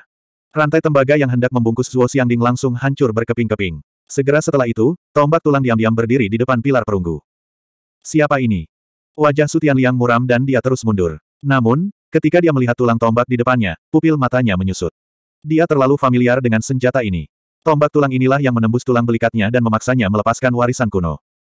Tombak tulang skala naga tirani. Zuawan, Su Tianliang mau tidak mau berseru. Us. Suara mendesing. Suara mendesing. Begitu kata-kata ini keluar, semua orang di ruangan itu memusatkan perhatian mereka pada tombak tulang. Orang-orang di rumah Markis Baichuan muram, tetapi orang-orang di keluarga Zuo sangat terkejut. Zuawan tidak mati. Dia benar-benar tidak mati. Pada saat ini, orang-orang keluarga Zuo hanya memikirkan hal ini di benak mereka. Zuawan. Zuo Xiangding roboh ke tanah. Melihat tombak tulang skala naga tirani, dia sudah menangis. Orang tua yang tidak mengubah ekspresinya saat menghadap pilar perunggu ini justru mengungkapkan perasaannya yang sebenarnya karena adanya tulang tombak. Suara mendesing. Sesosok melintas, kilat menyambar di bawah kakinya. Seorang pemuda berambut hitam berdiri di atas tombak tulang dengan satu kaki. Dua pasang sayap petir terbentang di belakang punggungnya. Kilatan petir yang tak terhitung jumlahnya memenuhi udara, dan seluruh ruangan sepertinya telah berubah menjadi dunia petir. Zuawan. Zuawan. Begitu pemuda berambut hitam itu muncul, orang-orang dari keluarga Zuo, yang diikat di salib, mengungkapkan ekspresi penuh harapan. Semua orang tersenyum. Keluarga Zuo telah lama menganggap Zuawan sebagai harapan kebangkitan Ryuka. Selama Zuawan tidak mati, keluarga Zuo dan Ryuka pasti akan bangkit kembali. Namun, jika Zuawan meninggal, semua harapan akan hilang. Oleh karena itu, saat Zuawan muncul, orang-orang dari keluarga Zuo tersenyum bahagia. Ini karena pahlawan di hati mereka akhirnya tiba di saat-saat terakhir. Ledakan, ledakan, ledakan. Zuawan menghentakkan kakinya dengan ekspresi dingin. Melihat Zuo Xiangding, yang lumpuh di tanah, dan orang-orang dari keluarga Zuo yang diikat di salib, mata Zuawan dipenuhi dengan kemarahan yang sangat besar. Petir tak berujung keluar dari sayap petir Zuawan seperti pedang paling tajam. Dalam sekejap, pengekangan terhadap anggota keluarga Zuo runtuh. Kemudian, semua anggota keluarga Zuo berkumpul di sekitar Zuawan. Zuawan perlahan datang ke sisi Zuo Xiangding dan dengan lembut membantu lelaki tua berambut perak itu berdiri. Matanya dipenuhi rasa bersalah. Kakek, saya minta maaf. Aku tidak melindungimu dan keluargamu. Saya pantas mati. Zuawan berkata dengan suara rendah. Hatinya dipenuhi dengan menyalahkan diri sendiri. Jika dia tidak memilih untuk tinggal di tanah warisan setan darah dan langsung pergi, mungkin ini tidak akan terjadi. Zuawan selalu merasa bersalah tentang hal ini. Tidak apa-apa. Senang sekali kamu kembali. Zuo Xiangding tampak emosional dan menangis bahagia. Zuawan, aku tidak menyangka bajingan sepertimu bisa keluar dari menara vitalitas. Sepertinya keberuntunganmu cukup bagus. Namun, keberuntunganmu telah berakhir. Anda berani masuk ke Baichuan Markis Mansion saya. Tidak peduli seberapa kuatnya kamu, kamu akan mati di sini. Meskipun Su Tianliang terkejut, dia masih berbicara dengan dingin kepada Zuawan dan memandang Zuawan dengan ekspresi waspada. Yang membuat Su Tianliang tercengang adalah Zuawan bahkan tidak melihatnya dari awal sampai akhir. Sebaliknya, dia mengeluarkan ramuan berharga dan menyerahkannya kepada anggota keluarga Zuo. Obat mujarab ini diperoleh Zuawan dari tanah warisan setan darah. Jumlahnya sangat melimpah. Ramuan kelas 4. Zuawan, bagaimana kamu memiliki begitu banyak ramuan kelas 4? Astaga, ini sebenarnya ramuan kelas 5. Aura obat yang kaya ini hanya bisa berasal dari ramuan kelas 5. Anggota keluarga Zuo menjadi gempar dari waktu ke waktu. Mereka semua melihat ramuan yang dikeluarkan Zuawan dengan takjub. Ramuan ini pada dasarnya adalah ramuan tingkat 4, dan ramuan tingkat 5 diserahkan oleh Zuawan kepada Zuo Xiangding. Ada begitu banyak ramuan tingkat 4, dan bahkan ada ramuan tingkat 5 di antara mereka. Tidak hanya anggota keluarga Zuo yang terkejut, tetapi bahkan orang-orang di sekitar rumah Markis Baichuan pun terkejut. Meskipun Baichuan Markis Mansion besar, tidak banyak ramuan kelas 4 yang tersedia. Terutama ramuan kelas 5, bahkan Baichuan Markis Mansion mereka relatif langka. Namun, Zuawan langsung mengeluarkannya dan terlihat sangat santai, seolah-olah dia tidak memasukkannya ke dalam hati. Zuawan, ramuan kelas 5 ini terlalu berharga. Anda harus menyimpannya sendiri. Namun, Zuo Xiangding agak ragu-ragu. Ramuan roh tingkat 5 sangat berharga, dan dia tidak mau menggunakannya. Kakek, yakinlah, Saya tidak kekurangan ramuan. Sejak saya keluar dari warisan setan darah, itu berarti saya telah memperoleh warisan setan darah. Dengan nama warisan setan darah, menurutmu apakah aku kekurangan ramuan ini? Zuawan menggelengkan kepalanya. Begitu kata-kata Zuawan keluar, pemandangan itu tiba-tiba menjadi sunyi. Semua orang menatap kosong ke arah pemuda yang memegang tombak tulang. Warisan setan darah benar-benar diperoleh oleh Zuawan. Su Tianliang juga tercengang. Awalnya, menurutnya, Zuo Wen keluar hidup-hidup karena keberuntungan, dan bukan karena dia mendapatkan warisan iblis darah. Tapi sekarang, kata-kata Zuo Wen membuatnya tercengang. Warisan setan darah adalah warisan paling menakutkan di tanah warisan. Zuo Wen benar-benar mendapatkannya. Ini adalah sesuatu yang bahkan Lu Hantian tidak dapat lakukan seratus tahun yang lalu. Namun, seringai muncul di wajah Su Tianliang. Dia tidak percaya bahwa Zuo Wen bisa mendapatkan warisan Blood Demon. Menurutnya, Zuo Wen mengatakan ini untuk mengintimidasi mereka. Zuo Wen, trikmu sungguh kekanak-kanakan. Apakah menurut Anda kebohongan dalam mendapatkan warisan setan darah dapat menghalangi kita? Belum lagi kamu tidak mendapatkan warisan setan darah, meskipun kamu mendapatkannya, lalu kenapa? Hari ini, kamu masih tidak bisa keluar dari sini hidup-hidup. Su Tianliang mencibir. Namun, Zuawan tetap mengabaikan Su Tianliang. Sebaliknya, dia diam-diam menyembuhkan anggota keluarga Zuo, sepenuhnya mengabaikan Su Tianliang. Dasar bajingan, beraninya kamu mengabaikanku. Jangan kira kamu bisa melompat ke atasku hanya karena kamu mengalahkanku karena keberuntungan di tanah warisan. Sekarang aku telah maju ke tahap pertengahan tahap kaisar tertinggi, aku khawatir kamu bukan lagi lawanku. Namun, kata-kata Sutian Liang kembali diabaikan oleh Zuawan. Tiba-tiba, dada Sutian Liang menjadi sangat sesak. Dia meraung marah dan bergegas menuju Zuawan. Hari ini, dia pasti akan memberi pelajaran pada Zuawan yang sombong ini. Beraninya dia mengabaikannya, Sutian Liang. Menurut Zuawan, siapa dia? 598. Seketika, pemandangan itu menjadi sunyi senyap. Seseorang bahkan dapat mendengar suara pin terjatuh. Melihat Sutian Liang, yang terbaring di tanah belasan meter jauhnya, baik anggota klan Zuo maupun para pelayan rumah markis dari Baichuan menarik napas dingin. Sutian Liang adalah ahli rilem kaisar tertinggi tingkat menengah roda empat, tetapi dia dikirim terbang sambil muntah darah. Bukankah ini terlalu berlebihan? Seberapa kuat Zuawan? Putra mahkota tertua, apakah kamu baik-baik saja? Pria parubaya berpakaian biru, yang berdiri diam di samping, berubah menjadi bayangan biru dan membantu Sutian Liang, yang jatuh ke tanah dalam keadaan menyedihkan, berdiri. Jejak kesungguhan muncul di wajahnya yang dingin. Saat Zuawan menyerang barusan, aura yang tiba-tiba meletus membuatnya gemetar ketakutan. Su kamu, bunuh si bajingan Zuawan itu untukku. Su Tianliang berdiri, rambutnya acak-acakan. Matanya merah saat dia menatap pria parubaya berpakaian biru dan meraung. Dia terlalu tidak mau menerima bahwa dia telah dikalahkan oleh orang yang sama dua kali. Terlebih lagi, untuk kedua kalinya, dia dikalahkan dalam satu pukulan. Su Tianliang tidak bodoh. Dia tahu bahwa kekuatan Zuawan pasti jauh di atasnya. Kalau tidak, dia tidak akan dikalahkan secara menyeluruh. Putra mahkota tertua, anak laki-laki ini tidak sederhana. Segera tinggalkan tempat ini dan panggil ahli rumah untuk mengepung dan membunuhnya. Kami pasti bisa membunuhnya. Kalau tidak, kita mungkin tidak cukup, kata pria parubaya berpakaian biru itu dengan sungguh-sungguh. Apa, Suyu, Anda adalah ahli alam kaisar tertinggi tingkat menengah roda empat. Apakah kamu masih belum cocok untuk anak ini? Kata Sutian Liang dengan kaget. Dia tidak percaya bahwa Zuawan benar-benar kuat. Suyu adalah ahli alam kaisar tertinggi tingkat menengah roda empat. Dia mungkin tidak takut sama sekali pada Eleve Yitao, tapi sekarang dia sangat takut pada Zuawan. Tentu saja, Su Tianliang menganggapnya sulit dipercaya. Aura anak laki-laki ini tidak lebih lemah dari ahli rilem kaisar tertinggi tingkat menengah roda empat. Selain itu, dia mungkin memiliki banyak kartu truf. Bahkan aku mungkin tidak dapat mengalahkannya. Oleh karena itu, sangat berbahaya bagimu untuk melakukannya. Tetap di sini, pria parubaya berpakaian biru, Suyu, berkata dengan suara rendah. Mendengar ini, Wajah Sutian Liang menjadi gelap. Dia tidak menyangka Suyu mempunyai penilaian yang tinggi terhadap Zuawan. Ditambah dengan kekalahan telak barusan, Sutian Liang tahu bahwa Zuawan tidak sama seperti sebelumnya. Iya, kalian tunda Zuawan. Saya akan segera memanggil para ahli dari rumah-rumah Markis of Baichuan, mata Sutian Liang berkedip, bisik Sutian Liang. Setelah itu, sosok Sutian Liang melintas dan langsung menuju koridor di belakang. Jelas sekali, dia bermaksud meninggalkan tempat ini untuk meminta bala bantuan. Su Tianliang, apakah kamu pikir kamu bisa? Kembali ke sini. Mata Zuo Wen menyipit saat dia melihat sosok Sutian Liang yang melarikan diri. Tangan kanannya tiba-tiba menamparkan, dan segera, cahaya kemasan berkedip dan meluap ke segala arah. Telapak tangan emas besar mengembun di udara dan menamparkan punggung Sutian Liang yang melarikan diri. Zuawan, lawanmu adalah aku, bukan putra mahkota pertama. Su kamu mendengus dingin. Aura ahli alam kaisar tertinggi tingkat menengah roda empat melonjak. Rambut hitamnya menari tertiup angin dan matanya bersinar. Dia juga menyerang dengan telapak tangan hitam besar untuk bertemu dengan telapak tangan emas Zuawan. Gemuruh. Telapak tangan bertabrakan. Emas dan hitam seperti dua ekstrim, membagi seluruh ruang menjadi dua warna, emas dan hitam. Bisakah kamu memblokirnya? Dengan mendengus dingin, niat membunuh Zuawan melonjak. Dia mengambil satu langkah ke depan dan langsung sampai di atas kedua telapak tangan. Semua 360 titik akupuntur di tubuhnya dibuka. Seluruh tubuh Zuawan bersinar dengan cahaya kemasan, seperti Buddha kuno yang khusyuk. Hancurkan. Telapak tangan itu bergerak melalui kehampaan dan menempel pada telapak tangan emas yang besar. Tiba-tiba, cahaya kemasan bersinar seperti matahari kecil, begitu terang hingga semua orang tidak bisa membuka mata. Retakan. Dalam waktu dua tarikan napas, cahaya kemasan sepenuhnya menekan cahaya hitam. Telapak tangan hitam Suyu pecah seperti kaca. Suyu mundur terus-menerus, bekas darah mengalir dari sudut mulutnya. Wajahnya penuh kejutan. Su Tianliang, yang melarikan diri menuju koridor, juga melihat situasi aneh di belakangnya. Dia berbalik dan melihat Suyu muntah darah. Dalam pertukaran pukulan, Suyu sebenarnya berada dalam posisi yang dirugikan. Penemuan ini membuat Su Tianliang terhuyung. Kekuatan Zuawan terlalu menakutkan. Untungnya, Suyu menyuruhnya melarikan diri secepatnya. Kalau tidak, dia akan benar-benar mati di tangan Zuawan.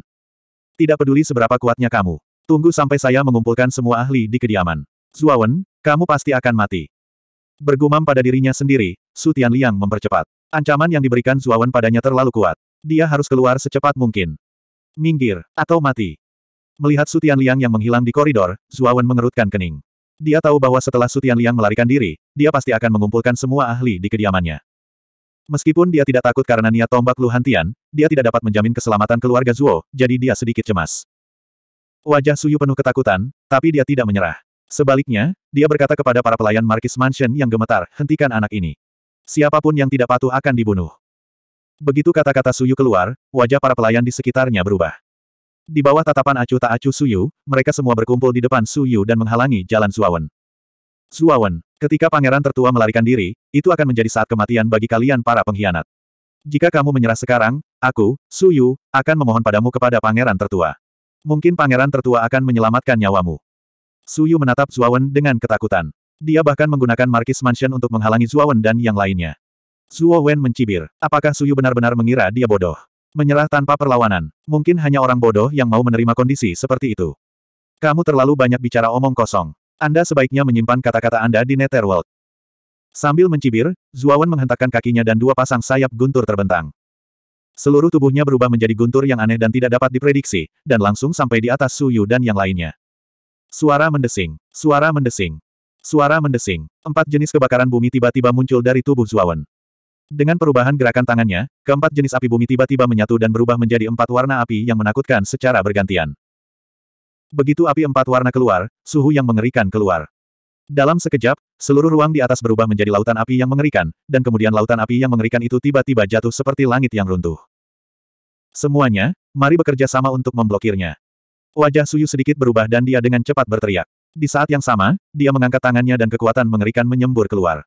Para pelayan lainnya juga mengangkat tangan dan melepaskan jurus terbaik mereka. Dalam sekejap, energi warna-warni menyebar seperti alam semesta cahaya dan berubah menjadi perisai bundar lima warna berbentuk setengah lingkaran di udara. Ini adalah perisai energi pertahanan yang dibuat bersama oleh Su Yu dan yang lainnya. Ledakan. Lautan api empat warna turun dan membombardir perisai bundar lima warna. Getaran yang menghancurkan bumi menyebar ke seluruh ruang. Namun, perisai bundar lima warna itu cukup mengesankan. Itu hampir tidak berhasil memblokir korosi dari api empat warna. Suyu dan yang lainnya menghela nafas lega. Di antara mereka, Suyu menggelengkan kepalanya dan mengejek, Suawan. Aku akan memberimu satu kesempatan lagi. Menyerah sekarang. Ketika Tuan dari Markis Mansion tiba, saya bisa menjamin hidup Anda di depan pangeran tertua. Bagaimana dengan itu? Apakah kamu benar-benar berpikir aku tidak bisa melakukan apa pun padamu?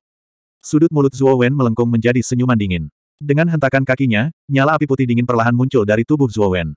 Untuk sesaat, suhu di sekitar turun drastis. Nyala api ini adalah salah satu api bumi yang diperoleh Zuo Wen dari tanah warisan setan darah. Itu disebut sembilan api dingin dunia bawah.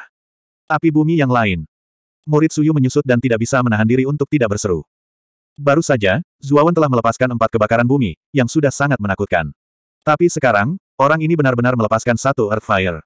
Ayo kita coba kekuatan api lima warna. Begitu sembilan kata api dingin muncul, gerakan tangan Zuawan tiba-tiba berubah.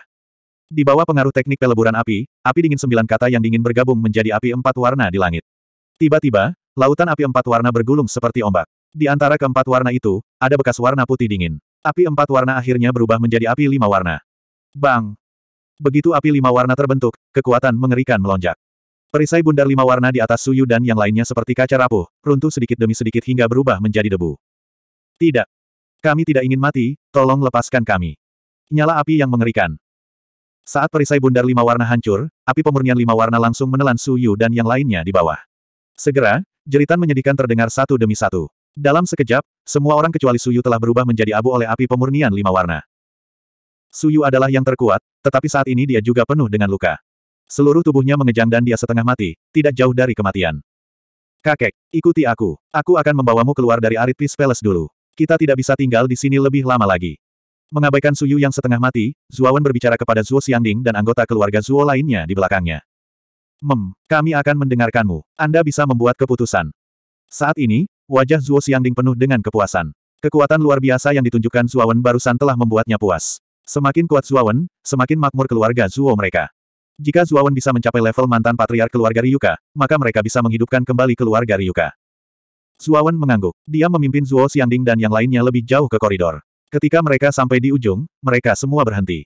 Ini karena mereka menemukan bahwa pada waktu yang tidak diketahui, ruang bawah tanah ini telah ditutup.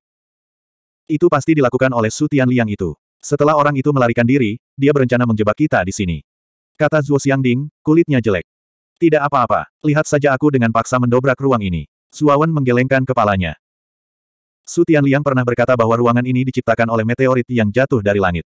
Bahkan ahli rilem kaisar tertinggi beroda lima mungkin tidak dapat membukanya. Saya khawatir hanya kaisar tertinggi beroda enam yang bisa membukanya. Pakar alam mungkin bisa melakukannya. Zuo Xiangding memandang Zuawan dengan sedikit khawatir. Meskipun Zuawan telah membunuh Suyu, kekuatannya paling tidak sebanding dengan ahli puncak alam kaisar tertinggi roda lima.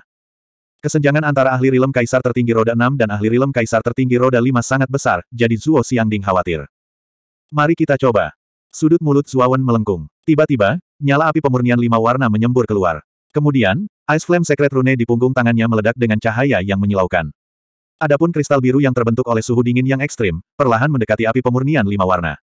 599. Di luar Peace Palace, sesosok tubuh yang tertekan lewat. Dia menoleh dan menatap istana perdamaian gersang yang besar di belakangnya. Dia dengan dingin berkata, Zuawan. Dasar bajingan, tunggu saja. Ruangan di bawah Peace Palace milikku dibentuk oleh meteor yang jatuh dari langit. Tidak peduli seberapa menantangnya Anda, Anda tidak akan pernah bisa memecahkannya. Setelah aku mengumpulkan master, aku akan menunjukkan kepadamu siapa bosnya.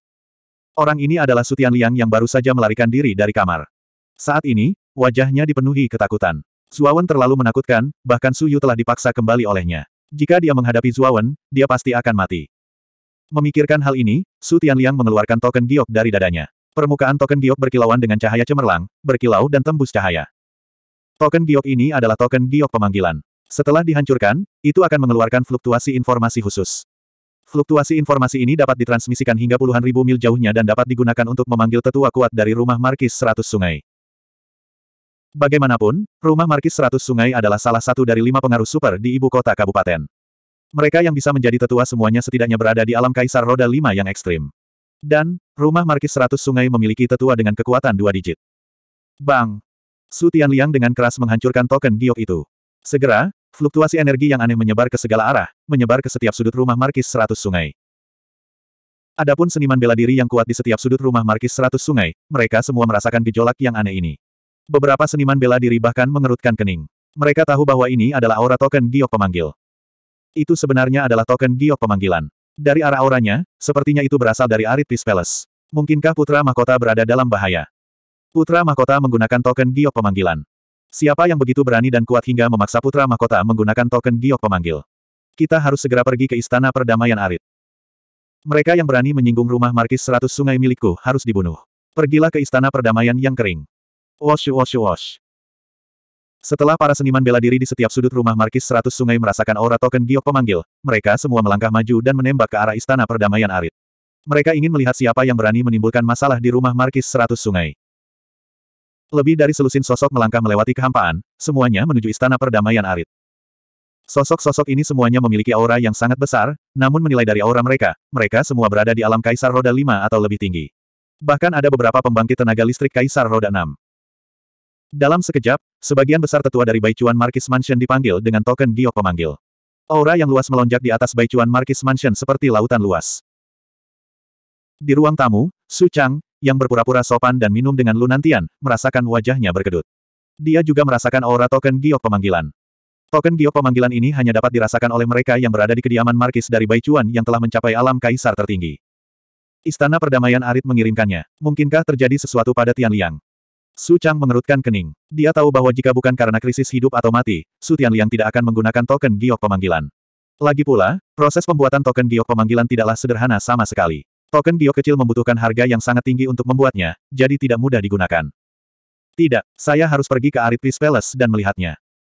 Memikirkannya, Su Chang masih merasa tidak nyaman dengan Su Tianliang. Dia hanya memiliki total dua putra. Putra keduanya, Su Liang, telah dibunuh oleh Zuawan di pagoda energi asal. Sekarang dia hanya memiliki Sutian Liang sebagai putranya, dia tentu saja tidak bisa merasa nyaman. Memikirkan hal ini, Su Chang menangkupkan kedua tangannya ke arah Lu Nantian dan berkata, Saudara Lu. Ada beberapa hal yang perlu saya tangani, jadi mohon maaf sebentar. Saat Su Chang berbicara, dia berdiri, ingin meninggalkan aula. Tapi saat dia hendak melangkah keluar, kekuatan yang kuat melonjak, menghalangi pintu keluar. Mem, saudara Lu, apa maksudnya ini? Merasakan kekuatan di depannya, kulit Su Chang menjadi gelap. Dia menoleh dan dengan dingin menatap Lu Nantian yang tersenyum. Dia mulai merasa cemas di dalam hatinya. Dia tidak ingin sesuatu terjadi pada Su Tianliang. Haha, saudara Su, jarang sekali saya datang ke rumah Markis Seratus Sungai Anda. Anda belum menerima saya dengan benar. Bukankah terlalu kasar untuk pergi seperti ini? Lu Nantian perlahan berdiri, masih tersenyum. Mendengar ini, warna kulit Su Chang berubah. Bagaimana mungkin dia tidak tahu bahwa Lu Nantian sengaja menghalanginya? Dia dengan dingin berpunuk dan berkata, Saudara Lu, lelucon ini tidak bagus. Saya pikir Anda tahu seluk-beluk rumah Markis Seratus Sungai milik saya. Anda seharusnya tidak sebodoh itu menjadi musuh bersama kami, bukan? Haha, perkataan saudara Su salah. Bukan karena rumah Markis Kin kami ingin menjadi musuh dengan rumah Markis Seratus Sungai Anda, tetapi rumah Markis Seratus Sungai Anda ingin satu mil setelah mengambil satu inci. Saya khawatir Anda ingin menjadi penguasa wilayah kabupaten ini, bukan? Lu Nantian berkata dengan tenang. Warna kulit Su Chang berubah. Dia mengerutkan kening dan berkata, Lu Nantian. Apa yang Anda maksud dengan ini? Baru saja, Tian Liang dari Peace Palace menggunakan token giok pemanggil. Apakah ini yang dilakukan oleh rumah Markis Skin Anda? Saat ini, nada suara Sucang menjadi tidak sopan. Dia tahu bahwa krisis Peace Palace kemungkinan besar terkait dengan keluarga Markis Skin. Karena Lunantian telah berulang kali memblokirnya, dia mungkin sebaiknya menghancurkan semua kepura-puraan ramah dan tidak lagi bersikap sopan. Jadi bagaimana kalau itu? Jadi bagaimana jika tidak? Lunantian terkekeh, berbicara secara ambigu. Lu Nantian, apakah Anda lupa orang yang bersembunyi di rumah Markis Seratus Sungai? Apakah Anda berani bergerak melawan rumah Markis Seratus Sungai kami? Mata Sucang menjadi semakin dingin saat dia langsung memanggil nama Lu Nantian. Apakah kamu berbicara tentang Su Lingtian? Haha, anjing tua itu, keluarga Markis Qin kita secara alami akan menemukannya untuk menyelesaikan masalah. Tapi pertama-tama, kami harus berurusan dengan rumah Markis Seratus Sungai Anda. Saat Su Lingtian disebutkan, senyuman Lu Nantian memudar. Sebaliknya, itu digantikan dengan ekspresi dingin dan suram. Bang! Aura alam Xuanzun tiba-tiba melonjak keluar seperti letusan gunung berapi. Udara mendidih dan ruang berputar. Suasana seluruh aula menjadi sangat berat, seolah menakutkan. Hari ini, aku, Lu Nantian, di sini untuk menyelesaikan rekening dengan rumah Markis Seratus Sungaimu. Lu Nantian berjalan menuju Sucang selangkah demi selangkah, auranya meningkat. Patriark sebelumnya, Lu Hantian, telah dibunuh oleh Su Lingtian. Bahkan banyak orang jenius dari keluarga Markis Qin telah dibunuh oleh Su Lingtian. Seratus tahun yang lalu, kakak laki-lakinya, Lu Hantian, telah ditipu oleh Su Lingtian dan terjebak di tanah warisan setan darah. Kebencian membunuh ayah dan saudara laki-lakinya tidak bisa didamaikan. Namun, Lu Nantian telah bertahan selama hampir seratus tahun karena dia tahu bahwa keluarga Markis Qin memang jauh lebih kuat daripada rumah Markis seratus sungai. Namun, Su Lingtian terlalu kuat. Selama Su Lingtian masih hidup, dia tidak akan berani menyentuh rumah Markis seratus sungai. Namun, kembalinya Lu Hantian memberinya harapan. Terutama karena Lu Hantian telah mencapai alam surgawi, dia tahu bahwa waktu untuk membalas dendam telah tiba. Oleh karena itu, Lu Nantian tidak berniat untuk bertahan lebih lama lagi. Lu Nantian, apa yang sedang Anda coba lakukan? Tahukah kamu tentang keberadaan nenek moyang kita? Jika nenek moyang kami tahu bahwa Anda berani menyentuh rumah Markis Seratus Sungai, rumah Markis Kin Anda akan tamat. Ekspresi Sucang jelek, perilaku abnormal Lu Nantian membuatnya agak ragu. Di masa lalu, dengan keberadaan Su Lingtian, Lu Nantian tidak berani menyentuh rumah Markis Seratus Sungai. Kenapa dia bertingkah tidak normal hari ini? Selesai. Aku akan membunuhmu dulu dan membiarkan Su Lingtian merasakan perasaan kehilangan anggota keluarga. LV Nantian mencibir. Dengan hentakan kakinya, aura mengerikan menyapu ke arah Sucang seperti binatang buas. Bahkan hati Sucang bergetar saat melihat aura itu. Brengsek, Lu Nantian, kamu memaksaku melakukan ini. Melihat Lu Nantian bergegas ke arahnya, Sucang gemetar ketakutan. Lu Nantian jauh lebih kuat dari dia. Dia berteriak dan lari dari aula. Sucang, Anda tidak akan bisa melarikan diri. Sudut mulut LV Nantian meringkuk. Dia maju selangkah dan menembak ke arah Sucang. Niat membunuh muncul dari matanya. Dia mengejar Sucang dalam sekejap dan mengirimkan serangan telapak tangan ke punggung Sucang. Sucang terkejut. Dia berbalik dan bertemu telapak tangan Lu Nantian. Sambil mengerang, Su Chang terlempar sejauh 100 meter. Jejak darah mengalir dari sudut mulutnya. Su Chang, kamu akan mati hari ini. LV Nantian menindaklanjutinya. Kekuatan Su Chang jauh lebih lemah darinya, jadi dia tidak menaruh perhatian sama sekali. LV Nantian melancarkan serangan telapak tangan lainnya. Arus udara yang tak terhitung jumlahnya di kehampaan mengalir dengan kacau. Telapak tangan menakutkan setinggi beberapa ribu kaki mengembun dan menekan Su Chang. Lu Nantian, Anda memaksa saya untuk melakukan ini. Apakah menurut Anda leluhur saya tidak akan waspada terhadap rumah Markis Skin Anda? Huff, tidak mudah membunuhku. Mata Sucang berkedip, seberkas cahaya tanpa sadar muncul di jarinya. Kemudian, sinar cahaya itu meluas dengan kecepatan yang terlihat dengan mata telanjang. Tingginya langsung menjadi seribu meter. Saat pancaran cahayanya memudar, ternyata itu adalah sungai yang panjangnya beberapa ribu meter. Itu seperti naga besar yang mengelilingi tubuh Sucang, membentuk lingkaran pertahanan yang sempurna. Ledakan, ledakan, ledakan. Telapak tangan setinggi seribu meter itu ditampar, tetapi bahkan tidak bisa menggerakkan sungai berkilauan di sekitar Sucang. Armor Soul, semua sungai mencapai laut. Anda juga telah mencapai alam mulia keempat. Lu Nantian tidak bisa menahan diri untuk tidak berseru ketika dia melihat sungai yang menakutkan di sekitar Sucang. Dia tahu bahwa jiwa pelindung keluarga Markis Baichuan adalah semua sungai mencapai laut. Namun, jika seorang kultivator belum mencapai alam mulia keempat, jiwa pelindung tidak akan bisa terwujud dan kekuatannya tidak akan dilepaskan. Itu tidak ada gunanya. Namun, sungai besar di sekitar tubuh Sucang memang merupakan lautan jiwa armor yang berisi semua sungai. Lebih jauh lagi, itu adalah armor soul ocean yang mengandung semua sungai. Hanya empat yang mulia yang dapat mewujudkan armor souls. Haha. Saya belum mencapai alam mulia keempat dan saya masih berada di puncak alam kaisar roda kesembilan tertinggi.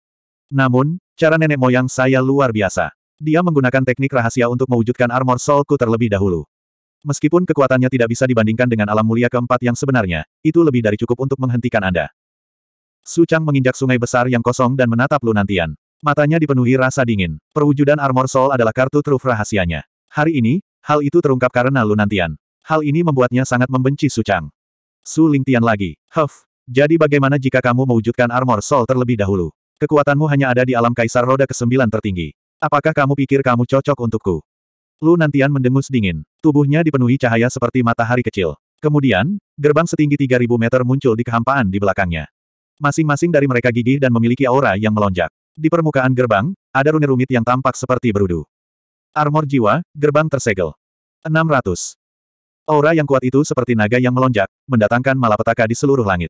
Dalam sekejap, fenomena aneh muncul di langit. Kilat menyambar dan guntur menggelegar. Apa yang sedang terjadi? Mengapa ada fenomena mengerikan di langit? Seketika, seluruh provinsi tertarik dengan aura Sucang dan Eleve Nantian. Ketika mereka melihat sungai raksasa seperti naga dan pintu raksasa seperti gunung saling berhadapan di langit, mereka semua menghirup udara dingin. Perwujudan pelindung jiwa, apakah ini pertarungan antara dua ahli alam mulia keempat? Itu adalah pintu tertutup rumah Markis Qin. Saya khawatir orang ini adalah pemilik rumah Markis Qin, Lunantian. Siapa orang lainnya? Bukankah sungai itu adalah jiwa pelindung warisan rumah seratus sungai dari rumah Markis seratus sungai? Orang itu adalah penguasa kediaman Markis Baichuan, Su Chang. Kapan Su Chang maju ke alam mulia keempat dan mewujudkan jiwa pelindungnya? Desir, desir. Banyak tatapan tertuju pada dua orang di langit saat mereka langsung mengenali identitas Lunantian dan Su Chang. Tentu saja, ada lebih banyak orang yang dikejutkan oleh Su Chang. Semua orang tahu bahwa Su Chang hanya berada di puncak alam kaisar sembilan roda tertinggi. Namun, tidak ada yang menyangka dia mampu mewujudkan armor soul. Ini adalah sesuatu yang hanya bisa dicapai oleh empat penggarap alam supremasi. Suara mendesing. Suara mendesing. Seketika, sosok yang tak terhitung jumlahnya bergegas dari seluruh ibu kota kabupaten dan berhenti seratus mil jauhnya dari kediaman Marquis of Baichuan. Mereka menatap dua orang yang saling berhadapan di langit. Sebenarnya semua orang bingung. Bagaimana Lunantian dan Su Chang bertemu? Pada saat yang sama, Master of the Meteorite, Suan Yuanli dari Sekolah Pengekang Pedang, dan Qin Ni dari rumah Markis Yongsheng juga merasakan aura mengerikan di langit di atas ibu kota prefektur. Menguasai. Apa yang salah? Di jadi Lady Star Court, Luo Xing memandang Master of the Meteorite dengan ekspresi bingung dan bertanya. Mendesah. Keluarga Markis Baichuan dan keluarga Markis Qin sedang berkonflik. Saya khawatir Su Chang dan Lu Nantian akan bertengkar hebat. Tuan Meteorit menghela nafas. Su Chang dan Lu Nantian. Lu Nantian adalah ahli alam Paragon keempat. Apakah Su Chang akan menjadi tandingannya? Juga, apakah ada kebencian yang mendalam antara keluarga Markis Baichuan dan keluarga Markis Qin? Luo Xing bertanya dengan ragu. Ada rahasia di sini yang tidak kamu ketahui. Ayo pergi ke kediaman Markis Baichuan untuk melihat-lihat dulu. Master of the Meteorite menggelengkan kepalanya dan melambaikan lengan bajunya. Energi tak kasat mata menyelimuti Luo Xing dan meninggalkan jadil Lady Starcourt. Pada saat yang sama, Suan Yuanli dari Sekolah Pedang Penguasa dan Qin Ni dari kediaman Markis Yongsheng membawa Zuci dan Qin Batian dan meninggalkan wilayah pengaruhnya masing-masing. Wajah mereka muram. Sebagai pemimpin kekuatan super, Suan Yuan Li dan Qin Ni secara alami mengetahui rahasia antara keluarga Markis Baichuan dan keluarga Markis Qin. Meskipun keluarga Markis Qin tampaknya jauh lebih kuat daripada keluarga Markis Baichuan di permukaan, keluarga Markis Qin memiliki orang itu. Bahkan keluarga Markis Qin tidak akan berani memprovokasi keluarga Markis Baichuan. Jika mereka benar-benar bertarung, saya khawatir struktur kekuasaan ibu kota prefektur akan banyak berubah. Suan Yuan Li dan Qin Ni terbang ke langit. Alis mereka berkerut karena khawatir. Suara mendesing. Suara mendesing. Suara mendesing. Tiga pita tiba dalam sekejap dan diam-diam melayang di atas rumah Markis Baichuan. Pita-pita itu berkumpul untuk mengungkapkan enam angka. Tentu saja, mereka adalah Master of the Meteorite dan Luosing dari jadi Lady Star Court, Suan Yuan Li dan Suci dari Ruling Sword School, dan Qin Ni dan Qin Batian dari kediaman Markis Yongsheng. Su Chang juga telah mencapai realisasi Soul Armor. Kapan orang ini berhasil menerobos? Melihat Su Chang, yang dikelilingi oleh sungai besar, wajah Qin Ni sedikit muram. Kekuatan Su Chang selalu setara dengannya. Biasanya, tak satu pun dari mereka akan tunduk pada yang lain.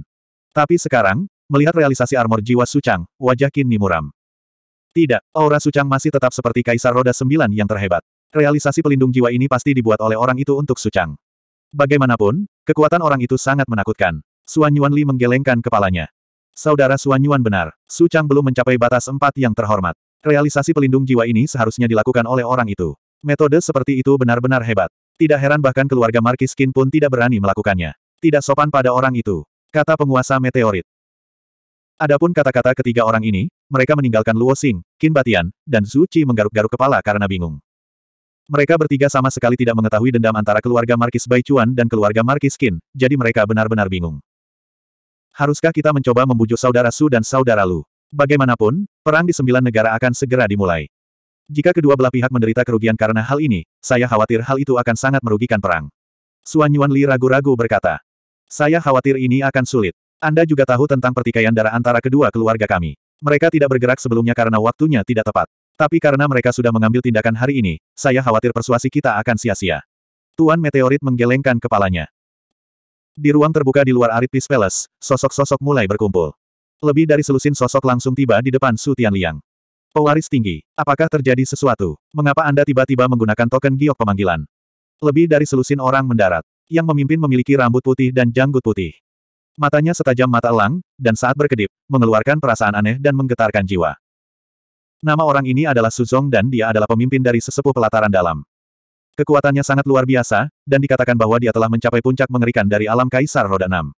Di belakangnya berdiri dua lelaki tua dengan ekspresi dingin dan acuh tak acuh. Meskipun aura kedua lelaki tua ini lebih rendah daripada aura Suzong, mereka jauh lebih kuat daripada seniman bela diri alam Kaisar Roda 5 biasa. Mereka seharusnya menjadi pembangkit tenaga listrik Kaisar Roda 6 awal. Kedua lelaki tua ini bernama Su Chang dan Su Yong. Itu adalah tangan kiri dan kanan Su Song. Ketiga pembangkit tenaga listrik Kaisar Roda 6 ini bertanggung jawab atas semua tetua pelataran dalam rumah Markis Baichuan. Adapun selusin tetua lainnya, kekuatan mereka berada di sekitar ranah Kaisar Roda 5. Mereka semua mengikuti di belakang Su Zong dengan ekspresi patuh. Su Zong, Anda akhirnya datang. Bajingan Zuowen itu tidak mati, tapi dia benar-benar berhasil masuk ke kamar Arit Peace Palace milikku. Anggota klan keluarga Zuo yang ditangkap semuanya diselamatkan oleh bajingan itu. Kata Sutian Liang dengan muram. Apa, Zuawan tidak mati. Dia melarikan diri dari warisan setan darah. Su Zong dan yang lainnya terkejut. Setelah perebutan pagoda energi asal, tidak ada seorang pun di ibu kota kabupaten yang tidak mengetahui nama Zuawan. Lagi pula, penampilan Zuawan di pagoda energi asal terlalu sensasional. Khususnya, ketika dia akhirnya memilih warisan setan darah, semua orang dengan tegas mengingat nama ini. Mem, saya khawatir anak laki-laki ini memperoleh banyak manfaat dari warisan setan darah. Tingkat budidayanya telah mencapai tahap tengah alam Kaisar Roda 5, namun kekuatan yang ia tunjukkan sangat menakutkan. Saya khawatir dia sebanding dengan Kaisar Roda 5 puncak. Bahkan Suyu dikalahkan oleh anak ini. Saat Sutian Liang mengingat kekuatan mengerikan yang ditunjukkan Zuawan di ruangan itu, kulitnya berubah menjadi jelek. Bahkan ada sedikit rasa takut yang tercampur di dalamnya. Bahkan Suyu dikalahkan. Alis Suzong terangkat. Suyu juga merupakan seorang tetua pelataran dalam, namun dia benar-benar seorang kaisar roda lima tahap akhir. Jika bahkan Suyu dikalahkan oleh Zuawan, maka tampaknya kekuatan Zuawan tidak lebih lemah dari Kaisar Roda Lima Puncak. Pewaris tinggi, jangan khawatir. Kami memiliki banyak tetua istana dalam, dan yang terlemah di antara mereka berada pada tahap awal alam Kaisar Roda Lima. Tidak peduli betapa menantangnya Zuawan, aku khawatir dia akan binasa di sini. Tapi, di mana anak laki-laki itu sekarang? Wajah Suzong dipenuhi keyakinan. Penampilan Zuawan memang pantas disebut jenius, namun ia masih belum dewasa sehingga tidak menempatkannya di mata Suzong. Tapi sekarang, Dengan begitu banyak sesepuh berkumpul di sini, mustahil bagi Zuawan untuk melarikan diri. Su Tianliang mengangguk. Dia menunjuk ke istana perdamaian Arit dan dengan getir berkata, aku sudah menjebak bajingan itu di kamarku.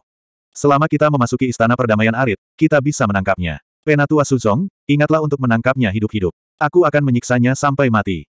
Mem, pewaris tinggi, jangan khawatir. Kami pasti akan mencapai ini. Bibir Suzong melengkung ke atas.